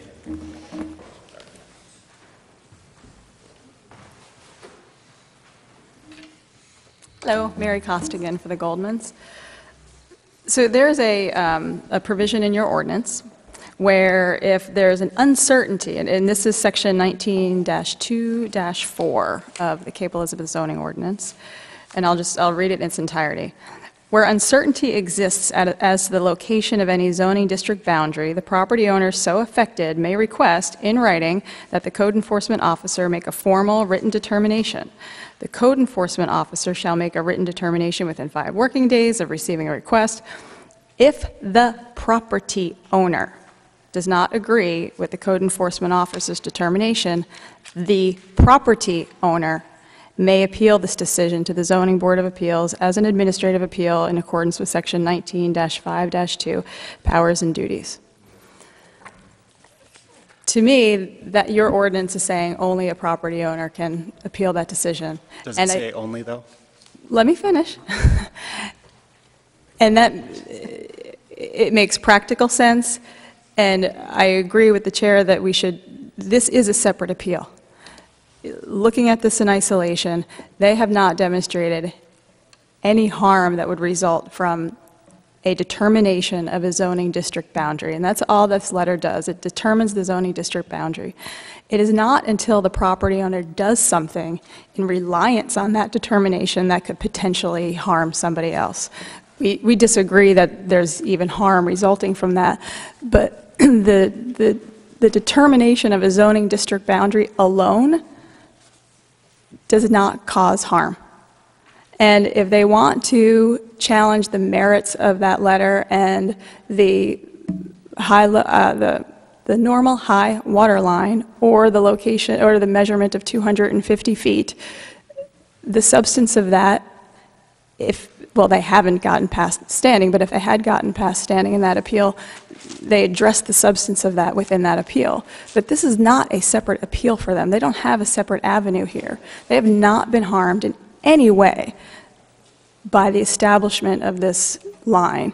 The argument that because the map showed the picture and when they bought their property, they should have thought that everything was in there, that's not a good argument, because if they went and looked at the ordinance, they would see that the shoreland zone is actually within 250 feet of the shoreland. So, and most property owners don't, you don't rely on the zoning map. You have, if you're, if you're, um, if you have a zone that's measured in metes and bounds, you go by the metes and bounds. And so that determination of where 250 feet is on their property alone does not harm the Murphys in any way. They have not established any harm. All of the harm that they've talked about is harm resulting from the building permit application, and that's not what we're talking about. We're talking about a determination of a line, a letter, um, that your ordinance only allows the property owner to appeal and nobody else. Questions? Chris? Uh, Thank you. Uh, Apologize for interrupting. Uh, I don't see only in 1924. It says the property owner can appeal. If we switch to section 1952, which discusses um, administrative appeals, basically, we can hear an appeal fro- by any party that's aggrieved by a decision of the CEO. Uh, Again, that turns, there's the Aggrieved, aggrieved. yes. Which you you raise an interesting argument as to whether there's any injury just by a by a statement or a decision by the CEO. Just that, or, or, but would you agree then that, to the extent that the, in this issue, it- it's odd in this circumstance, but to the extent that a party then acted on that determination by the CEO, at that point in time, the issue would become ripe for the other, for the abutter to challenge? It's a different, they, it, it's a different argument. Their harm is not from the line, but their harm is from an action that was taken in reliance on that line. So they could act at that point to challenge where the line is? Sure, yeah, which is, well, if they get past standing, which they haven't, but if they did, They that's where we, we talk about the merits. So They, would- they can talk about the 75, they can talk about the normal high water line, they can talk about where 250 feet is. So you would agree that the CEO issued a letter saying, here's where the line is. A- If the party that received the letter six months down the road acts on it to receive a, uh, t- and they obtain a permit for some construction, at that point, an abutter could challenge that determination as to what is and what is not in the shoreline. If they demonstrate that they're aggrieved They and they get demonstrate past standing, they can argue that.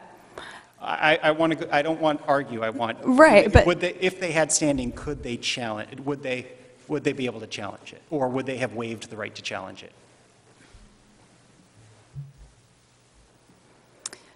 Because I don't want to create the situation where if I say, yeah, you're right, this isn't something that can be challenged now, we basically have slammed the door on them and said, oh, you can never challenge it now. Right. The, the merits of the decision in terms of the location of, see, this case is, and I still, I kind of have to talk about the merits to answer your question, which is, what happened the last time is that everybody agreed where the 75 feet the, excuse me, the normal high water line was.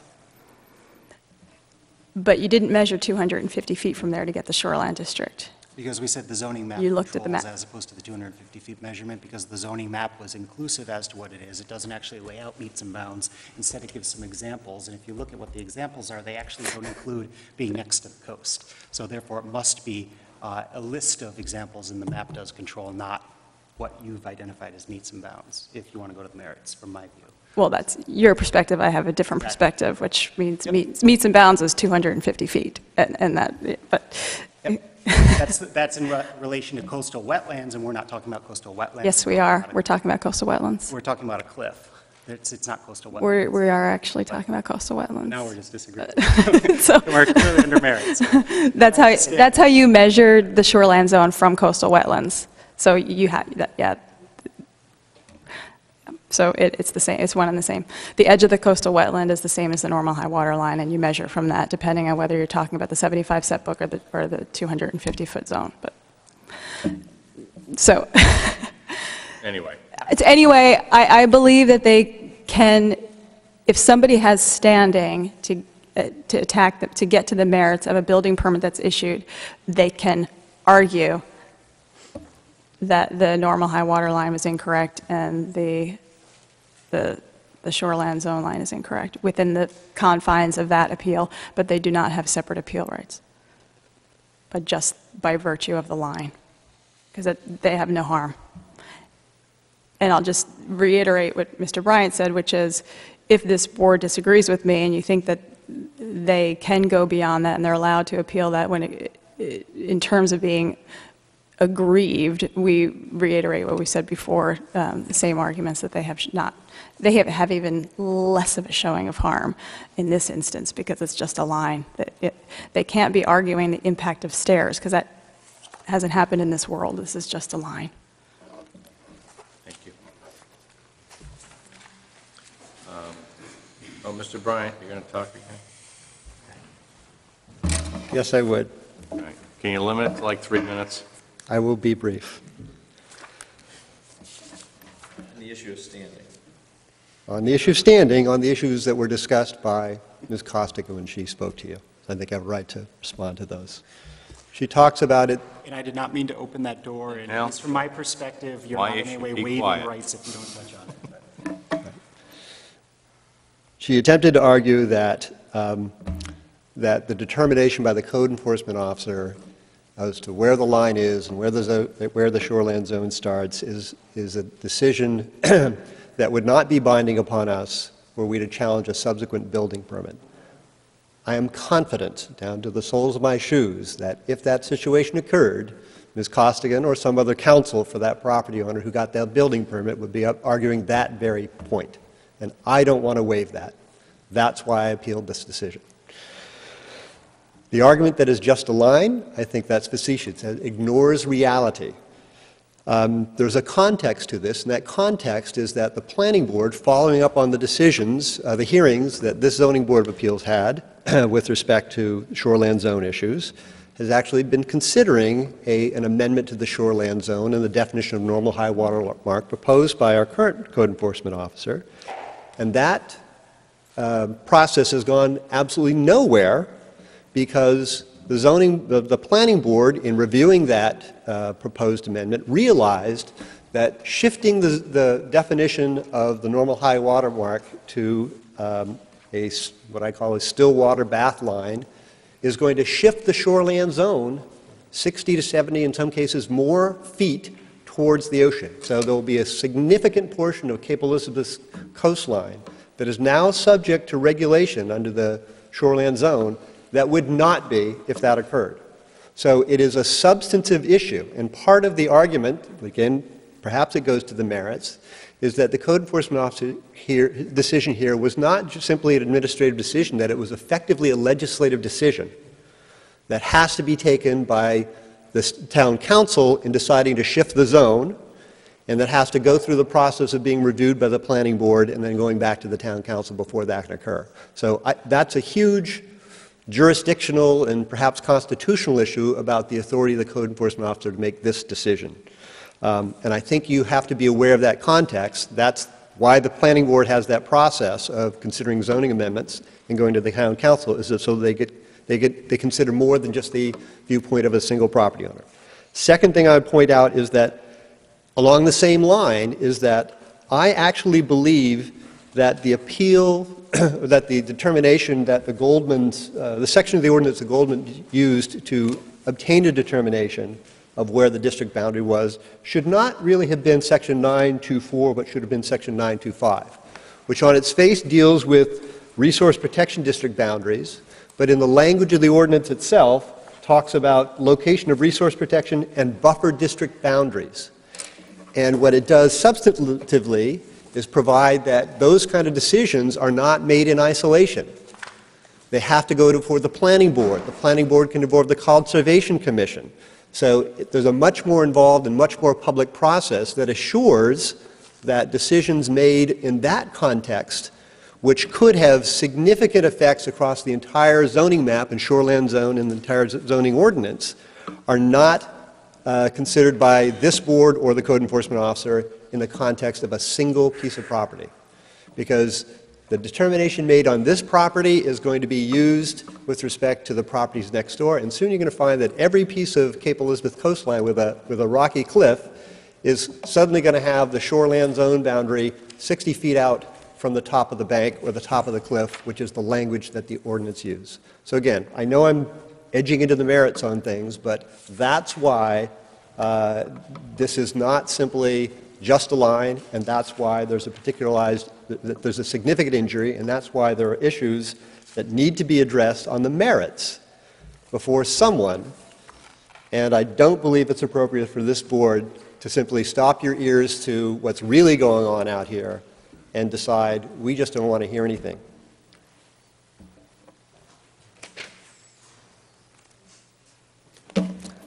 And that's the last thing I think I'll say.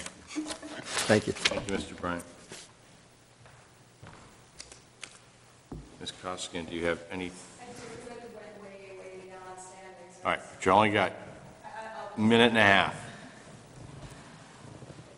Number one, this is not a resource protection zone. It's the shoreline district, so that section does not apply. Number two, what's happening at the planning board and what has or not happened is irrelevant. That is outside the purview of this board. We don't know what's going to happen. What we do know is that this board has determined that the mean low water mark is, is, is very close to the determination that's been made in, in Mr. McDougal's, le- in Ben's letter. Um, And so, and that same determination has been made next door. So to, I know, to imply that this is revolutionary somehow um, is, is quite an overstatement. And again, they, he just spoke for uh, five minutes, and I didn't hear anything about harm to the Murphys by this determination of where the shoreline zoning district boundary is on 27 Pilot Point Road. Thank you. Um, Any, Could I just cite something in the ordinance for you that relates to what I said? It was section 10, I'm sorry, 1910-3 concerning amendment to the zoning ordinance. What, can you repeat I- that? 19? 10-3. 1910-3, about what it takes to amend the zoning ordinance. And I, I just wanted to make sure that cite was on the record, because, like I say, part of my argument is that the determination made here effectively uh, is an amendment of the zoning ordinance and the zoning map without going through the appropriate process of amendment of the ordinance. We know the zoning map, I think, I can cite the section if you want. The zoning map is part of the zoning ordinance uh, pursuant to section, if I can find it.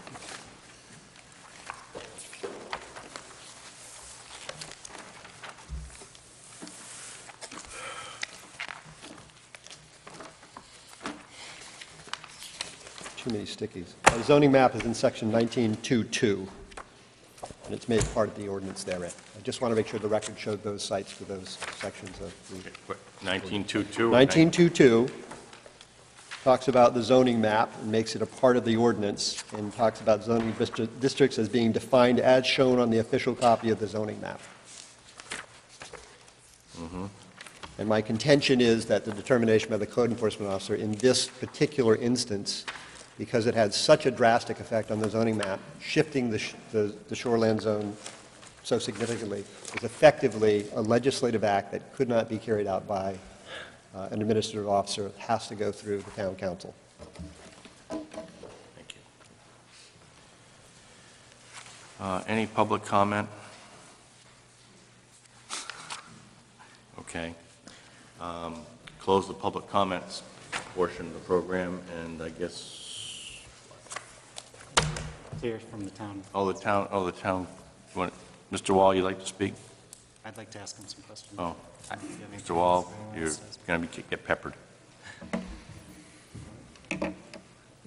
Uh, um, I'm concerned the point that was raised by the Goldman's attorney, that basically we're being asked to give an advisory opinion here until someone acts on this statement.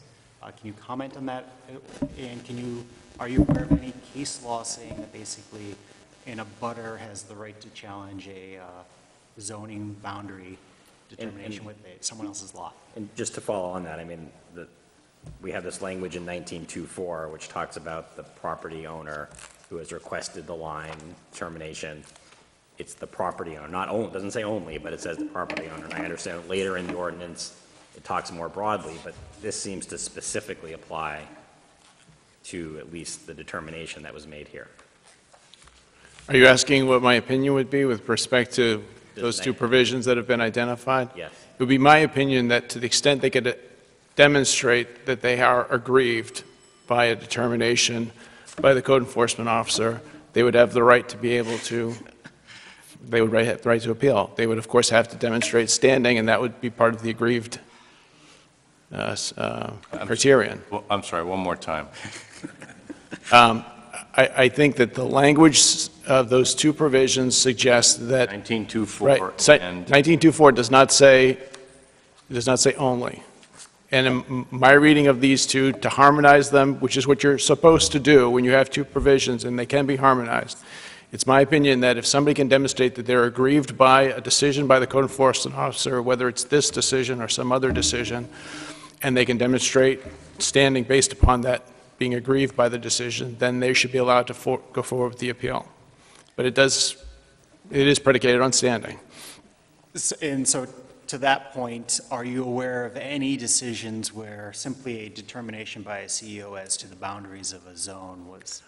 I have searched, I have not found any. That doesn't mean they're not out there, I just, I have, I've done the Lexis search on this, and I haven't been able to locate anything in Maine. So is this akin to us offering an advisory opinion on the topic, or, or is it basically something where we should be waiting till someone actually acts on this determination, I- and then we step in? I think as soon as somebody can demonstrate to you that they are, they have a potential particularized injury, then you, then you can act on it. All right, fair enough. But I don't mean to be coy, it's, but that's the answer. The answer is, I can't, I can't tell you because, because somebody may have an argument that, that convinces the board that in fact they demonstrate a particularized injury, whether it's this case or some other case. you've never found that. I have not found a case in which a determination of a boundary location by a code enforcement officer was appealed by an abutter, and the court acknowledged that for a variety of reasons, they've been able to demonstrate standing. I've also not found any cases which said that that they haven't. So have you found any cases where somebody has appealed the determination of a boundary? I have not, no- boundary, lo- boundary location, no, I have not. So it's never really been, Not that I've been able to, to find.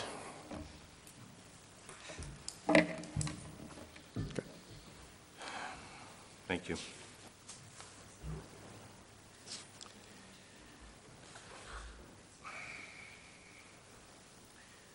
Well, putting aside our, finding of standing on the prior appeal for a moment, I, I guess from my perspective, the other, the other question that, that, um, I guess that I have, or observation, is that the, um, the determination by the CEO um, relative to boundaries on the high water mark um, doesn't, you know, doesn't necessarily, we haven't heard how the Murphys are are harmed by that particular determination. In the grand scheme of things, you, you put them both together, you know, you can get there. But this is where, you know, we, we have two separate appeals. You know, we've already determined that, that, you know, they don't have standing in Appeal One. In Appeal Two, it's, you know, given what, what counsel has said, you know, maybe you could get there where it's not just the property owner, but we're still back to, yeah, but how are they harmed by the CEO's determination? If I may. It's, it's a discussion. Uh, um, I think what the Murphys articulated in the way that these are slightly different, and I don't know which way I go on this, I really have to mull it over, is, um, in this instance, people acquired their lots with the expectation that the abutting properties were completely in the shoreline zone, and they were therefore restricted on what they were allowed to do. And to now change, uh, everything at this point, they actually know they're allowed to do more than you thought But- on that lot that adversely impacts. But, but the, sh- I mean, I don't know. the, the shoreland changes over time. So, and, and the map should presumably also change with the shoreline. So it's not, not a static thing. I mean, there's erosion. So to say that a property owner bought property and looked at the map and saw that, you know, this was within the shoreline zone and this wasn't, and then, you know, made decisions based on that, people understand that shorelands change, and so the shoreland zone is going to change over time. So I, I don't think just saying that decisions were made because this was in a shoreland zone or not, or abutting a shoreland zone, I I don't, that argument doesn't hold a lot of water for me. Does the CEO's decision, the, the concept of this decision he's made being binding on everyone going forward, does, do, you- do you buy that, or do you think that this is non-binding in any way until someone acts on that? I mean, I, my inclination is to say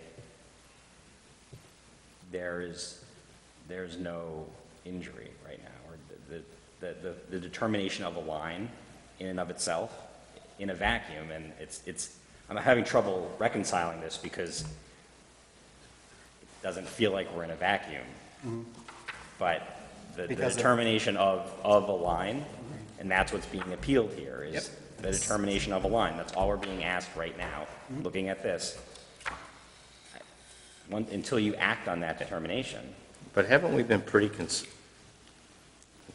I mean, I think this board generally has viewed, well, I'll speak for myself. I mean, I've generally viewed the, the high water mark as being where there, you know, where you see this, the staining on the rocks. I don't get too caught up in the bank and the cliff and the, I mean, I, uh, so I, I'm not as troubled by, I don't think it's, a I don't think it's a precedent, but I'm not troubled by it one way or the other. Totally agree with you, but we made the finding last time, seven zero, that the entirety of the Goldman's lot is in the shoreline zone. And the C, what's being argued is that the CEO has now issued a finding contrary to our prior 7-0 finding that the entirety of the lot is in the shoreline zone, and that the shoreline zone is actually beyond what's that, in that two hundred and fifty feet. We made, had a 7-0 finding that the entirety of the lot was in the shoreline zone. And But as I recall- Is, he's now undermining that. I shouldn't use the word undermine. He's contradicted that with his letter.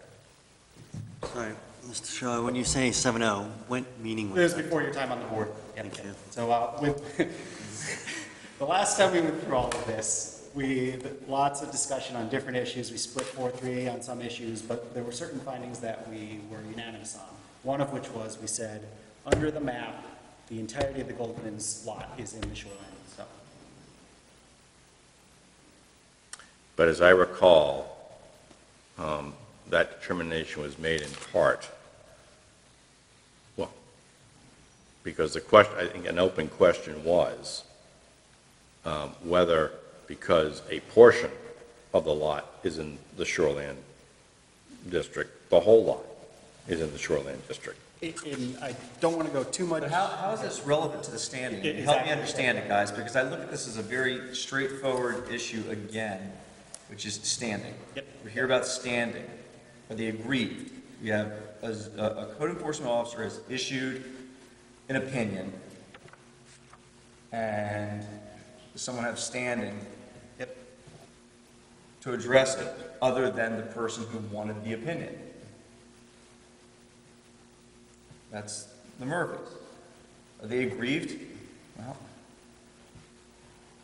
And the way that I look at it is if they're not aggrieved, I don't see how, it applies to everyone in town that in any way is affected by this. No one, from my perspective, is foreclosed from later on when someone acts on that opinion from the. Well, I agree with that. I don't, I don't, I don't think that, that prevents someone, if they want to, if they then want to turn around and, and get a permit to build in accordance with that, someone can, uh, I think they can Challenge the object. I can challenge the permit. I don't, I'm not going to suggest that they're barred from that in any way, shape, or form, because I don't, I don't believe that at all, but, you know, they issued an opinion and, how they, so it's it's an opinion, how they agree. I mean, I look at the two provisions, what's the aggrieved, I mean, there's two different ones, and I read them either way, I mean, it- I t- am in total agreement with you. I would just like uh, any votes to reflect that fact that it- we're in no way saying that people are barred or that this, people are foreclosed from challenging this opinion in the future. When it's acted on for an actual permit. well, yeah, I mean, the decision to issue the permit is a, is a decision that, that, that I think can, someone can, can argue against. Totally agree. I mean, yeah, that, that I don't have a problem with. Okay, the, the, uh, uh, uh, two responses. The, the question is whether the Murphys have, to your point, have standing Right. to, to, to bring that particular issue before the ZBA. That, that's your central, that's your central, I mean, that's what we're focused on. The issue of where the line is. Right, but, but the flip side is that, that, I, I think we're talking about where they, are they being harmed by the determination of the letter? And it, doesn't that to some degree go to standing? Correct, well, that, that's exactly what I Okay, think so, goes so, I'm- Yeah. so, all right, so, so all I'm, um, right, so, because of how this spiraled back to the, to the lot coverage, the, the, the question was, you know, if, if the entire lot is, is, is in a shoreland district, um, as opposed to a portion of it, then does that, that, does that change whether they, they're, they're damaged or not? And, and, you know, Chris was just circling back to kind of what we voted on a, a year or so ago. Is that what it was, a year ago? Something like that. I would just note that I think the CEO's letter can be construed, it's, he states, "The shoreline performance," o-" and again, I'm just talking about standing and how this, this, is- I'm going to tie this into standing. "The shoreline performance overlay district is all land within 250 feet of the normal high water lines of coastal waters." He doesn't say that it, it is only that. So if that's viewed as a statement that it includes that, then I don't even see, I, I don't see how there's any injury, so there's no standing. Because that doesn't say it is only that land, it simply says it. I don't view that as a conclusive statement that it is only land within two hundred and fifty feet of the normal high water line of coastal waters, because I don't think that in any way equates back to what the, the, the scope of the district is. So I would interpret it that way, and I'd say that there's no injury. So no standing. Okay, so any, anyone else have anything to add before we try take a vote? You're out, Kathy. I have plenty to say, but you have canvassed the particular point. Um, So can, uh, I have a motion for um, this particular administrative appeal.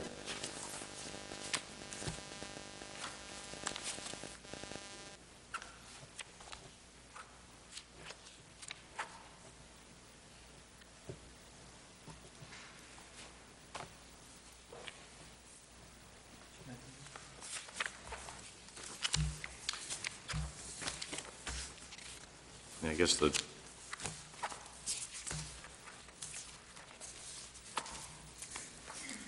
I guess the motion would be that the, um, I'll, I'll make a motion that, that, that the, that the uh, Murphys do not have standing. Deny the appeal. Sorry? To deny the appeal? Uh, Because they don't have it? I'll make a motion to, to deny the appeal because the Murphys do not have standing.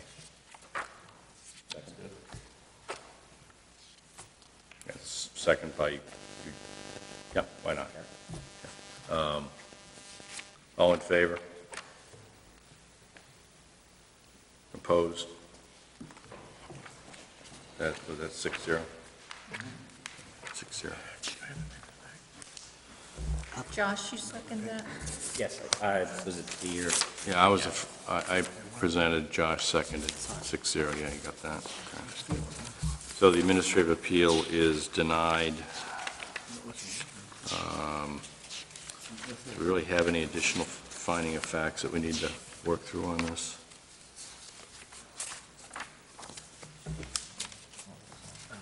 Yeah.